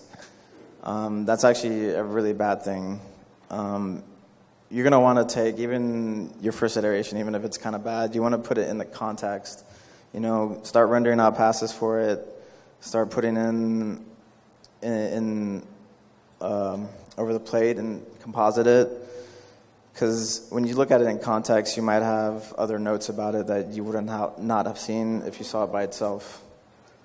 So it's always good uh, when working in effects at Blur to, you know, get through the whole workflow first, see what it looks like in context, and then um, make a judgment on whether or not um, you need to change anything. Uh, the second reel, um, we call him Victor. Um, some really good stuff in here. A lot of good atmospherics, a good sense of scale. Now, this kind of stuff, I mean, obviously doesn't exist in real life, but um, he's able to integrate it well with the character, the live action plate. And you can see there's many elements going on. He has one on the ground, the snow kind of going around her. And then he has different elements of when it explodes out, and then when it comes off the sword. So this is not all one simulation, and that's how um, it should be approached uh, at Blur. Like a lot of these are individual elements that get rendered out. Because if it was all one element, now you wouldn't have the luxury of changing the individual one. You would have to start the whole sim all over again. So you want to break out your passes, break out your elements. So this is great. He's showing all the elements the different lighting passes to give him some flexibility in comp to relight it.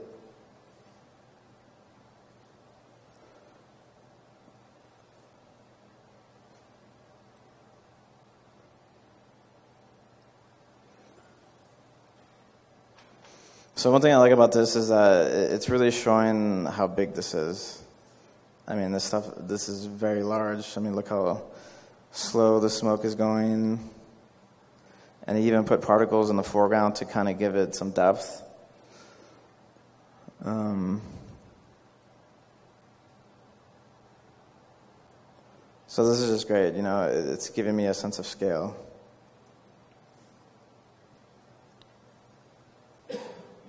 Again, he has RGB passes to relight it. Um, we used to do this kind of stuff, the RGB pass, but recently we started using one of V-Ray's tools, which uses V-Ray lights, and ever since we've been using that to light all our volumetrics.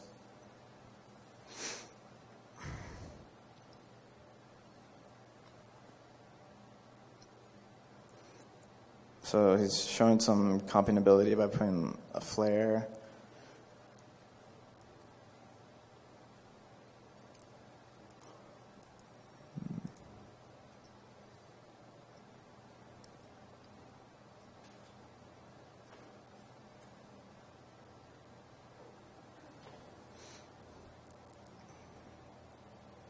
So this is pretty cool. So he's showing all his elements, like the geometry, the volumetrics.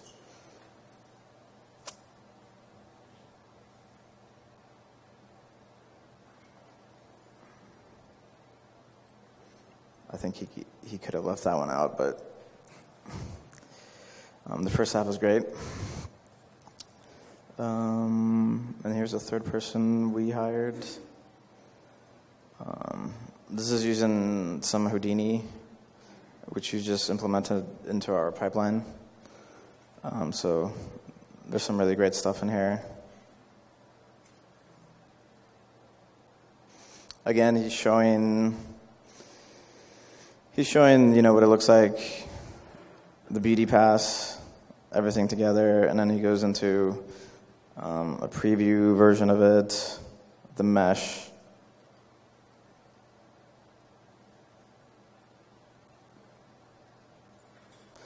Uh, this is probably not something I would recommend for like students to do because you don't really have the resources to do this kind of thing. But if you can make it look this great, then by all means.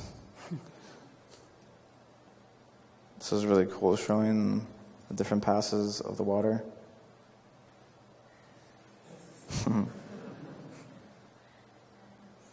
Yeah.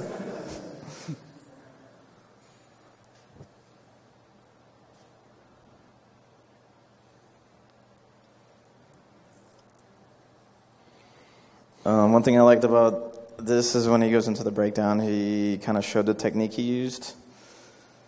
Um,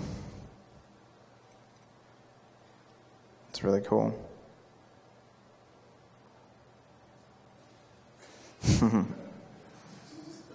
so there's a lot of really impressive stuff in here.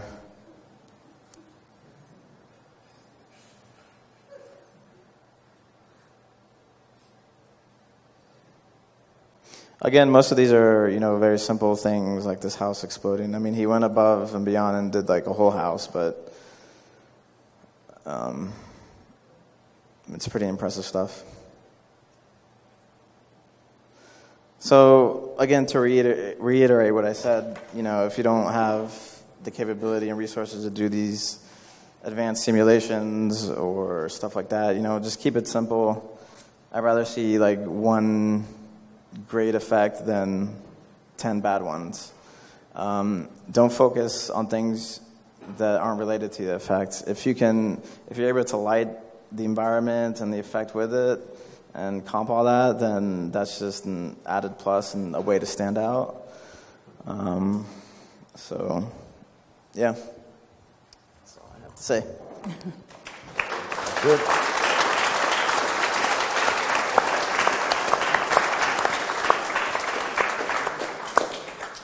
All right, that was awesome. Thank you so much. Thank you. Um, it is now time to open it up for the Q&A portion of the night. So if you're here on stage, just raise your hand and I'll walk the mic over to you. If you're watching via live stream, we invite you to ask any questions you have um, over Twitter with the hashtag Gnomon. And we'll be sure to get to as many as we can um, before we end the night. And then after the Q&A, we'll do our raffle. We have a, a few shirts to give away from Blur as well as the studio tour. Cool? All right, let's start with questions on stage. Does anyone have anything they want to throw out there? If not, I'm going to pull from Twitter. All right, cool.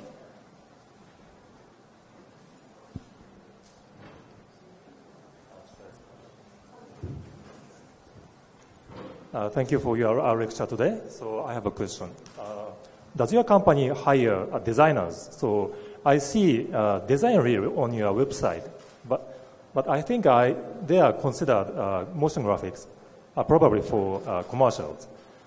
So does your company hire uh, other uh, designers?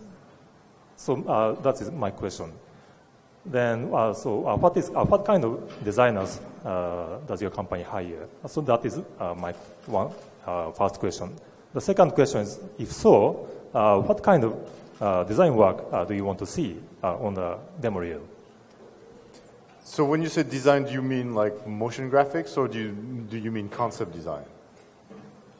Uh, so, so uh, that is uh, my one question. So, what kind of designer does your company hire?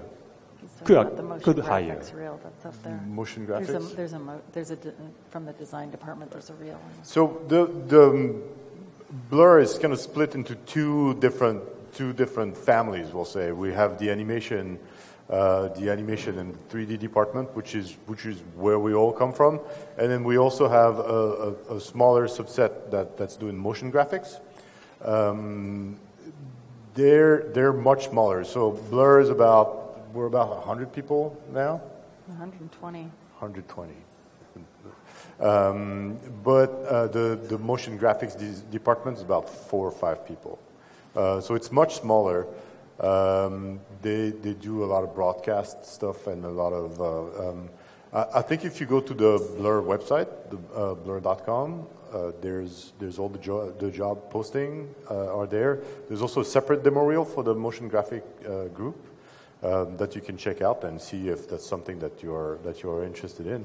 They, Um, they do have a, a few freelancers that they work with when they get busy, but it is a very small group of people that they've worked with for a long time. So we don't have as we don't have very many openings uh, come up in that department.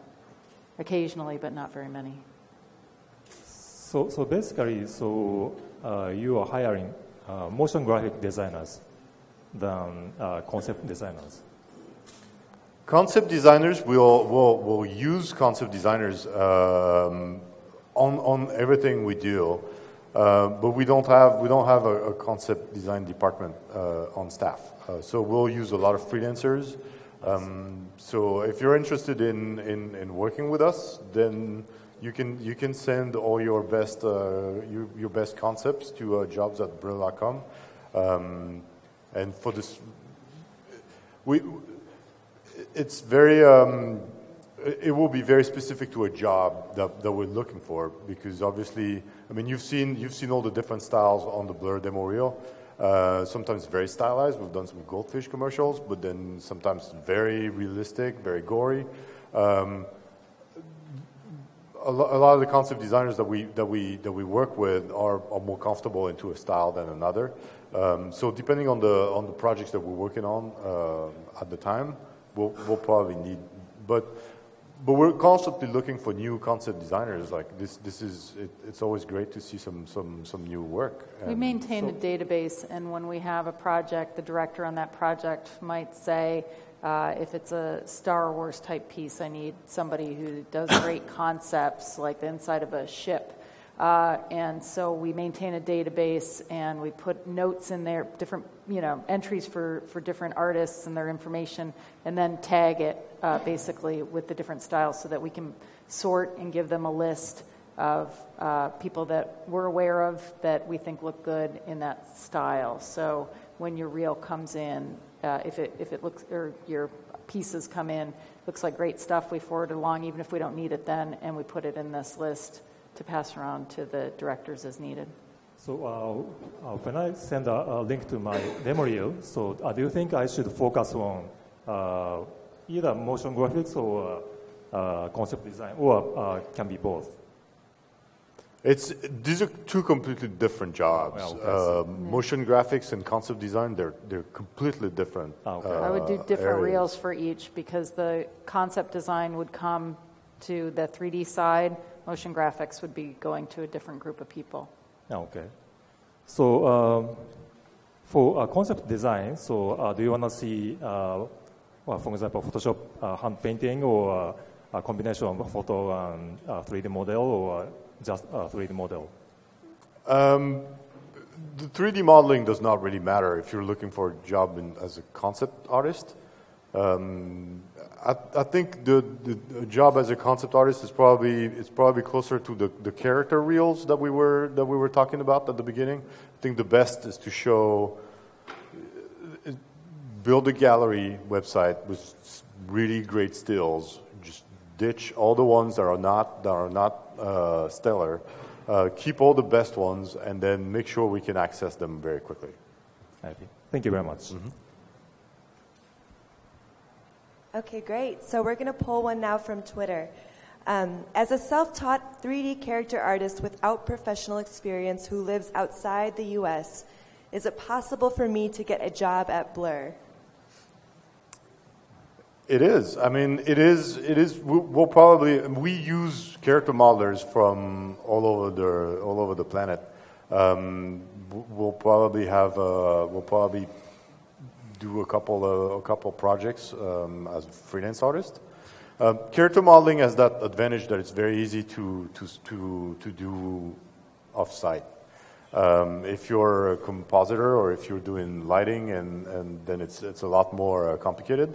But but if you're a character modeler or or a prop modeler, uh, any kind of modeling is very easy to just you know just send through the internet. Like the files are not overly big, um, and and we do that with a lot of people. So yes, there's definitely hope if you.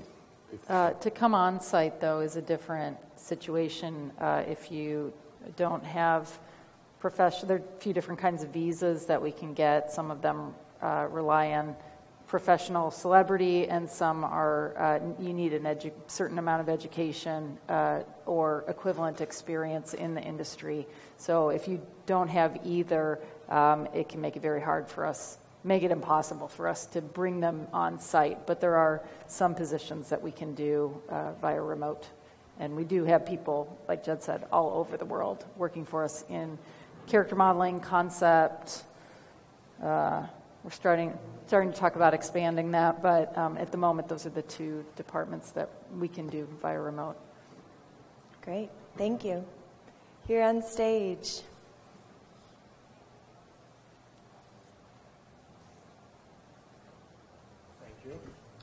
Hey guys, um, I had a question about do you hire somebody more on the technical side, uh, software programming background, scripting? Mm-hmm. Because I have 15 years of that experience. I'm moving into digital media and I'm trying to figure out the paths to take, which would be in demand and you know uh, we do. We have we have a whole department full of people who write tools and software and and help out with IT. Um, so if it's something that you're interested in, um, it will. I mean, I won't be the one who will be looking at your your resume because I can't I can't tell. But we've got. Um, I mean, the, the supervisors for from that department will will be happy to take a look. We have people that come uh, do highly technical people that come into two different places. One is in, directly into the pipeline group uh, to write tools. Most uh, most of our pipeline people do have an art background, um, went to art school and were interested and went that way. Um, and we have some that are computer science people. We also have some people who are artists in different departments that came into writing tools to make their personal lives easier uh, and their projects easier. And uh, when we're looking, if we had two candidates that art wise were the same and one could write tools, we'd go for the one that could write tools. Uh, so it, we, we love seeing on everybody's reel a little bit of Python. Um, and, uh, and so, you know, there are two different routes to, to go with that. But um, to go in in another job and be the guy in that department or the woman in that department that specializes in tool writing, uh, you also have to be a very strong artist in that area. Thank you for that. So you mentioned uh, Python, MEL scripting, maybe C++, things like that. Python is really not very much C++ happening. Um, at, at, Blur, there we have one person who's offsite that, that does that for us, um, but it's Python. Uh, our tools are they're very very Python focused at this point. Now, one last question. I want to make a transition to the creative side. I, I don't want to do whole you know scripting part. I've done that for so many years. Is there a, is there something specific, maybe rigging or something that is more suited to somebody with more technical background or rigging and then the creature TDs, uh, you know, uh, hair and cloth. Um, are those two departments? We actually have a lot of artists that cross uh, TDs uh, that cross between those two departments. They're very technical. Um, uh, FX is very technical too, but it's very artistic. It's it's both. It's very unusual combination of both. That's what I'm looking for. So you said rigging and cloth, and uh-huh. what was the third one? Uh, well, effects. effects. Yeah. Okay. Thank you very much, guys. Mm-hmm. Thank you. All right. So our next uh, question from online is kind of piggybacks uh, nicely off of the the previous one. What is the hiring process for international freelance artists who work remotely? Uh, well, you send in, it, it, everything comes in through the same uh, jobs at blur.com, uh, or it, sometimes it comes through someone who knows someone. Uh, sometimes we have people, uh, our character modelers, or people uh, like Brian, who maybe are part of a, a, community online or something, and they, they get names that way. By the time they get to me, um, and I pass them along, and the department heads pick them to work on their project, for Offsite International, it's a very simple uh, set of documents. Uh, one is an independent contractor agreement, um, and another is a tax form, so we can pay them. Uh, they, we get them set up. Uh, they, for character modeling, don't need a lot of tools, uh, so we give them an assignment, um, talk to them about how long it's going to take, they, they get involved with the team, set up milestones, um, and then they do the work and invoice us either at milestones or at the end of the project. Wonderful. Thank you. Mm-hmm. Um, I actually kind of want to continue on with the next one just because it kind of is the same with international students. And um, if you could maybe expand on the importance of having a degree, and it might be nice to also talk about the importance of having a degree if you live here, even, or versus just an awesome demo reel. So if you could maybe touch on both. Uh, for the visa, for the offsite, um, for an H-1B visa, which is uh, what we go for most often, the the one of the qualifications is to have a degree in a related field uh, that you're going to be working in. Um, so, uh, so you might have a computer science degree and then apply for rigging, and they don't quite match up. We have a little bit of uh, trouble there. Uh, but digital arts degree, uh, and then you're coming into it. Um, if you don't have that, then we have to prove an equivalency of experience. Uh, and that's just one of the basic requirements for an H-1B visa. For an O-1 visa, which is more of the celebrity, uh, industry celebrity type visa, uh, a degree is not required, but it's very difficult to prove that you're an expert in your field. So, um, as far as artists uh, here, local uh, in the U.S., um, for artists, it doesn't matter if they have a degree or not. I mean, we it it. I don't, I don't remember ever, ever, asking you where they went to school. When I look at a reel, no. you know, that's that's the reel now, if you're an artist, you are. you're a great artist, then you're a great artist. It all starts with the demo reel. Like if, if you can't pass that test, then like we're not really going to follow up on the rest. Absolutely, great, thank you. Mm-hmm. All right, here on stage.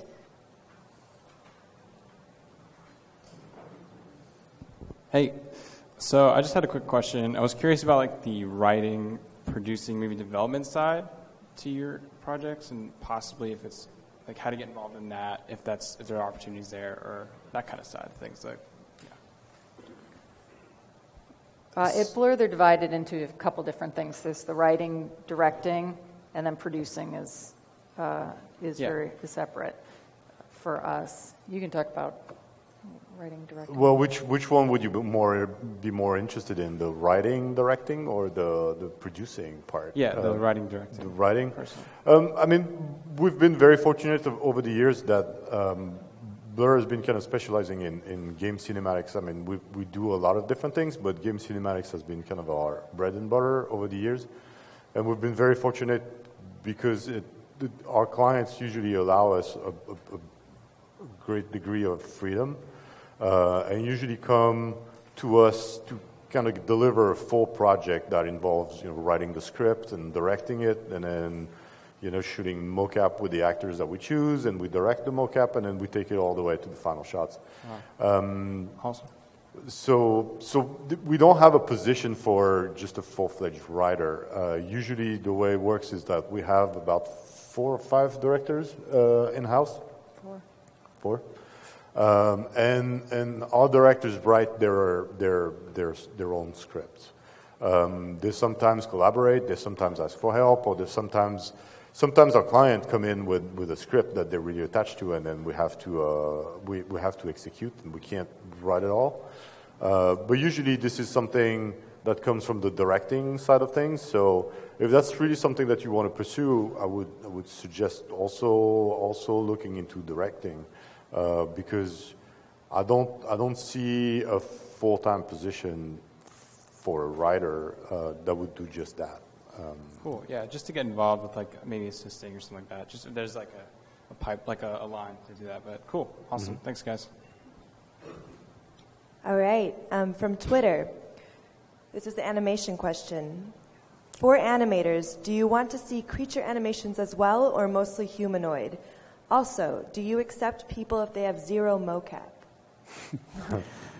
um, well, first, creature versus human. Um, we love to see both. Uh, we do a lot of creature animation at Blur.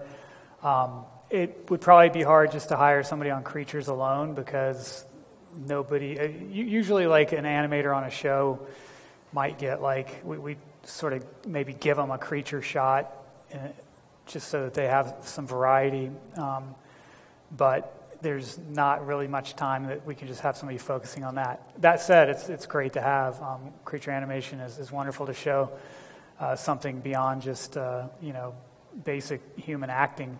Uh, ideally, you, of course, have both. And as far as hiring people with zero mocap, um, you know, it, it's pretty rare. It might happen. It, if, if we're freelancing on a show, we will. So we might have a show that's all keyframe, and if you're awesome at that, um, you know, we might bring you on for that, you know, whatever six, seven week period.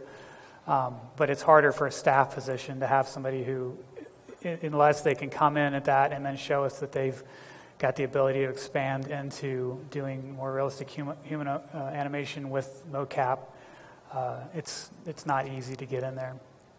Great. Thank you. Anyone here on stage? Um, in regards to, uh, I believe it was uh, Warren's advice to curate your, uh, like say, Vimeo channel. So after you've sent a rock solid uh, demo reel and you start digging more into the artist and seeing some other stuff that they might not have directly submitted, does that also apply to the other areas, like with uh, characters where you send a, a, solid reel and then you go to their uh, ArtStation where they have a little more uh, studies and um, experiments and things like that, does that harm your chances uh, in any way? If it's atrocious, yeah, it does. Um, and, and, I mean, I, I, exaggerate, but but not really. Um, I, I, mean, in, in, anything that you attach to your name online, especially as an artist, you you got to be. I mean, it's your name, it's your reputation. I think you don't want to harm it by by putting everything in, in anything. I mean, there's we we've all done things that we're not really proud of, and and I personally don't like try to not keep them online um, because you know you, you never know. So um, I think what's on ArtStation and on a personal website, you know, is, is, is the same as something that you submit. Um, I mean, obviously, you can have a little bit more, a little bit more on, on your website, but I think you, you, you really need to, to show that you can tell the difference. Uh, because it's really important for us to see that, that you have the eye to be able to see the difference between what's really good and what's mediocre and what really like you know nobody is interested in uh, except maybe your family. Um, so anything that, that, that that a potential recruiter can can see, I think you should you should you know like take a take a close look at and and just filter it. I think it shows good judgment and it can't hurt you. Great. All right. Um, from Twitter, at Blur, do you have a dedicated position for a compositor, or do you combine compositing with the effects and lighting positions? Uh, yes and yes. Yeah. Oh, yeah. uh, it depends on the work we have in the studio. Um, our scene assembly department, they're generalists. Um, they do lighting, um, lighting, rendering, compositing, uh, hard surface modeling. And so they, they do composite their own shots. The effects department also uh, composites their effects. Um, so that, that's part of our regular uh, pipeline there. For we've been taking on a little bit of visual effects work um, and some some live action integration stuff for commercials, and we have in the last year, for the first time, well, first time basically, opened up uh, real traditional compositing positions. So uh, we actually have a few of those open right now for senior compositors uh, for some projects coming up. Uh, on staff, we don't have a staff position currently for just a compositor. But we need some for the for next the two term, months, so please send very, your reel. Yeah. Great, yeah, thank very you. short term. Thank you guys all for coming. Brilliant presentation. I was refreshed to see the, the little character sketches, I think, in the animation discussion. And wanted to ask at, at Blur, are there also artists that are using traditional methods, analog methods, drawing with pencil and paper and ink and that sort of stuff, or is it all digital? Uh, for production, it's, it's all digital. Um, I mean, a lot of us draw and sketch, but we don't have any jobs right now where we would integrate 2D. I mean, it, it'd be fun in the future. But uh, yeah, right now, all the productions that we've been doing the last few years are just, um, you know, 3D animation with 2D principles. But yeah, so I just sketch a lot for fun. Great. All right, here online. Um, does Blur prefer, excuse me, does Blur prefer hiring project-based employees or full-time? we have a core staff, um, and we uh, we like having a, a good, solid staff. It, we tend to start with project hires, see how they go. If they become if it becomes clear that they're a great fit and we have an opening for a staff position, uh, then then we do hire a lot from our freelance pool, our project hire pool.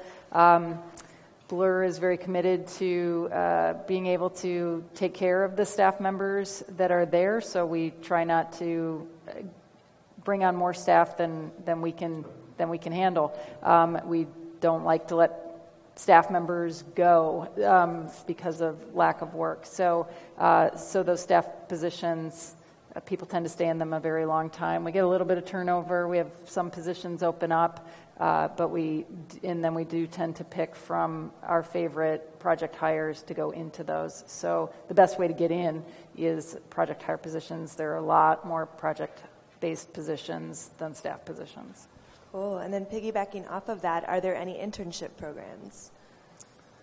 Well, we have two Gnomon interns right now, um, and we've had a few in the last few years. Uh, it, we've occasionally have uh, one or two from another school. It really depends on the candidate. It's not uh, the type of program where we just say, okay, we're taking two, let's fill up these spots. We look and see. Uh, we actually this year thought, well, we'll pick one, and then there were two on there that we really liked, um, especially. So we found a place to use them. So, uh, so we don't always. Um, sometimes it doesn't make sense for us to have them. We don't have enough. Uh, we have work just enough for our core staff, uh, so we don't have enough to do, or we don't have uh, supervisors with the time to put into uh, actually making sure interns are getting a good experience out of it and learning something. But we do it more now than we used to. Great. All right, we have time for a couple more.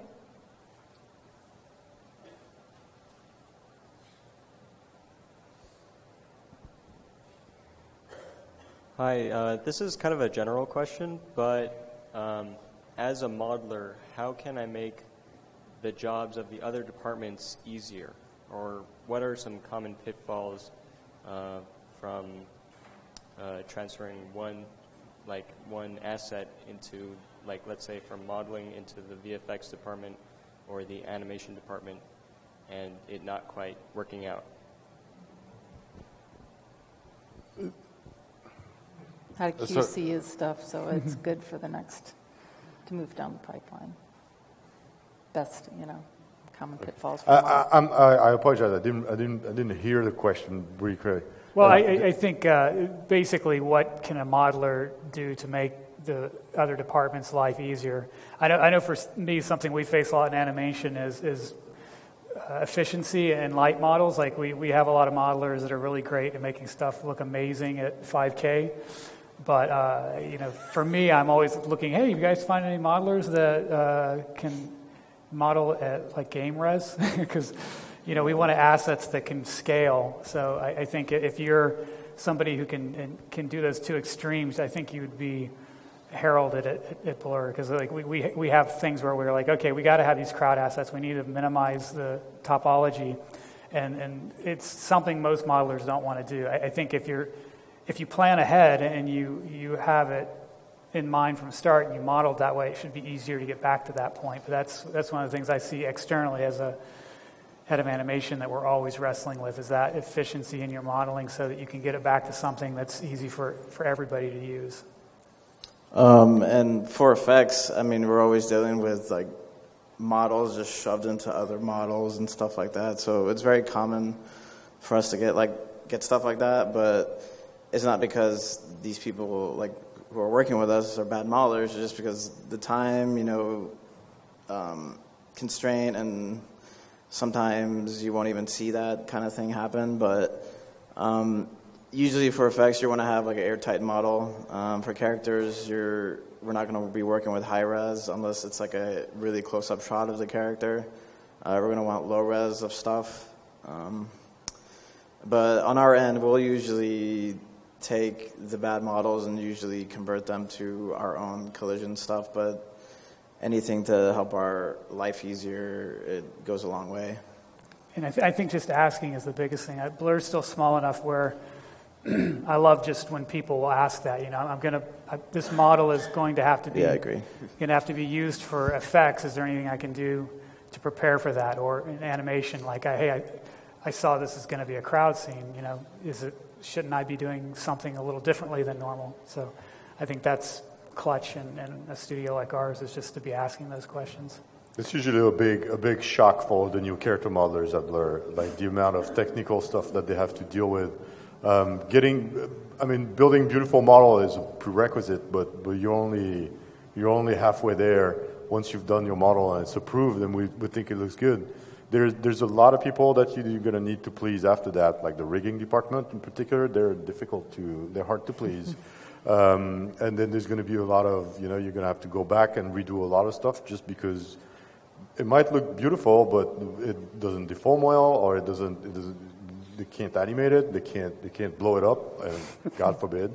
Um, so you, you're going to have to make sure that, that, that all, those, all those departments are, are, are happy. And, but there's a lot of there's a lot of processes of QC where we have a lot of supervisors and leads like looking at the models all, all along the way.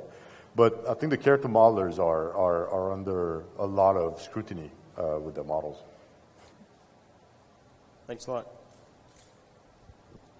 Okay, I'm going to pull one more from Twitter tonight.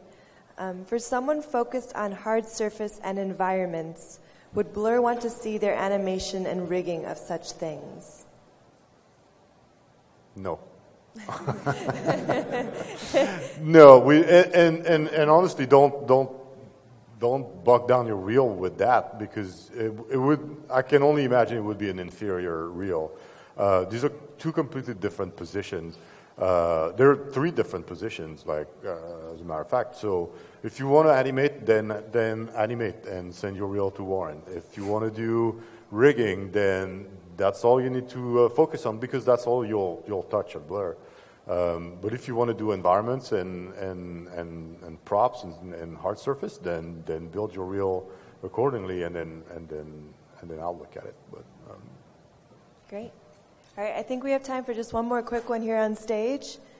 All right, one more. Okay, so I just wanted to clear up that if you're a generalist, then focusing on uh, the lighting aspect, environments, and well, there was one more thing, correct? Compositing. Compositing. All right, great, thanks. Cool.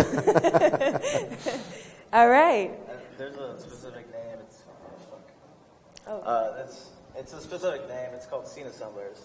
Right, At, at yeah. Yep. Uh, so they're called scene assemblers. I do the lighting and and all that stuff. We do sometimes post the ads, though, for um, generalist, 3D Studio Max generalist or generalist position because some people, a lot of people don't recognize that term scene assembler because uh, not a lot of companies use it, I don't think. It's a fun gig. All right, let's get a big round of applause for our presenters.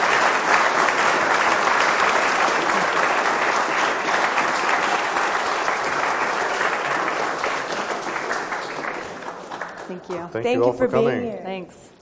Thank you. I know a lot of people in here are probably walking away with some really valuable information, so thanks all of you for giving your time. Um, I definitely, I should have said this in the beginning. I also want to thank Savannah. You don't see her, but she's over there. She was very responsive to all of my annoying emails. and she played a big role in putting this together as well, so I definitely want to say thank you.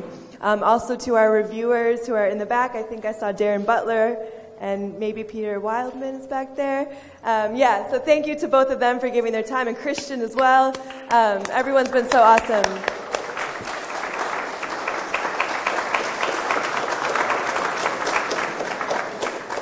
Um, before we like truly end the night, I'm going to do the raffle. Um, I want to thank the live stream people as well. Sorry, I should say that. Thanks for tuning in.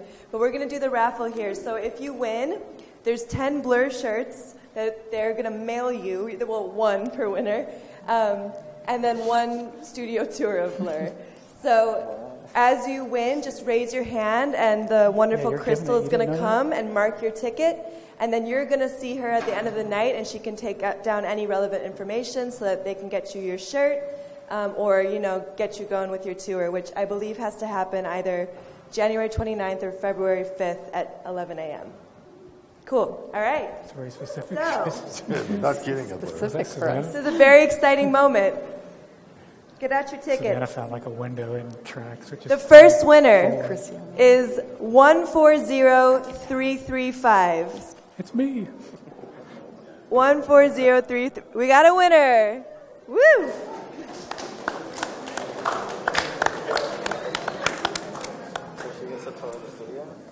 Think that's The just next shirt. winner is 140317.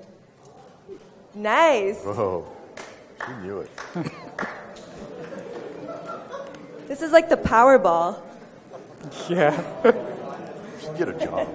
Huh? You should put a Pretty job much in the there. same. Yeah. All right. The next winner is 140344. Yep, we got a winner. They're all still here. This is great. Keep your hand up, please. Ha- keep your hand up, please. Thank you. And our next winner is 140321. Oh, I'm making Crystal run all the way around. 140321. Hold on. All right, we have four shirts. Six left.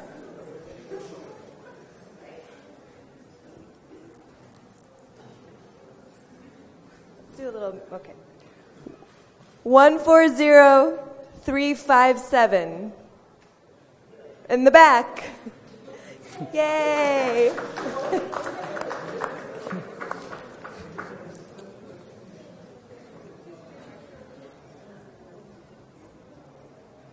One four zero three three four. Nice. Up in the front over here. Man, that's a lucky kick. I know. It's like, it's like a nice pool over there. I want to go with them to get the next Powerball Got ticket. four more to go. One four zero three one nine. One four zero three one nine. Up here. All right, bear with me. A few more.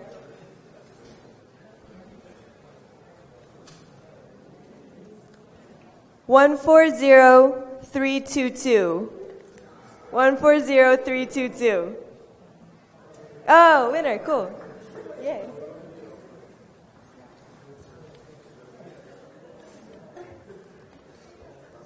One four zero three three six. Congratulations. And the last Blur t shirt goes to 140347. Congratulations. It'd be great if it was like Christian.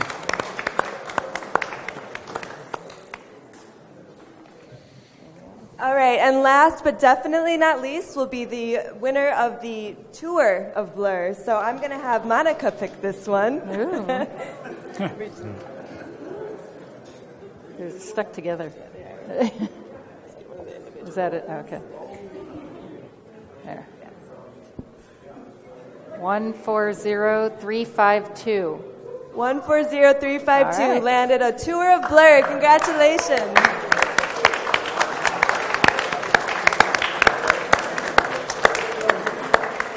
Cool. All right, everyone. Thank you for coming. Do you want to say any last words, presenters? Thank you. Thank you for Thanks coming. having and thank- you've been very uh, quiet and very uh, attentive. It's, uh, it's nice. Stayed Thank so you. long. Our Thank you. presenters are saying their last words, everyone.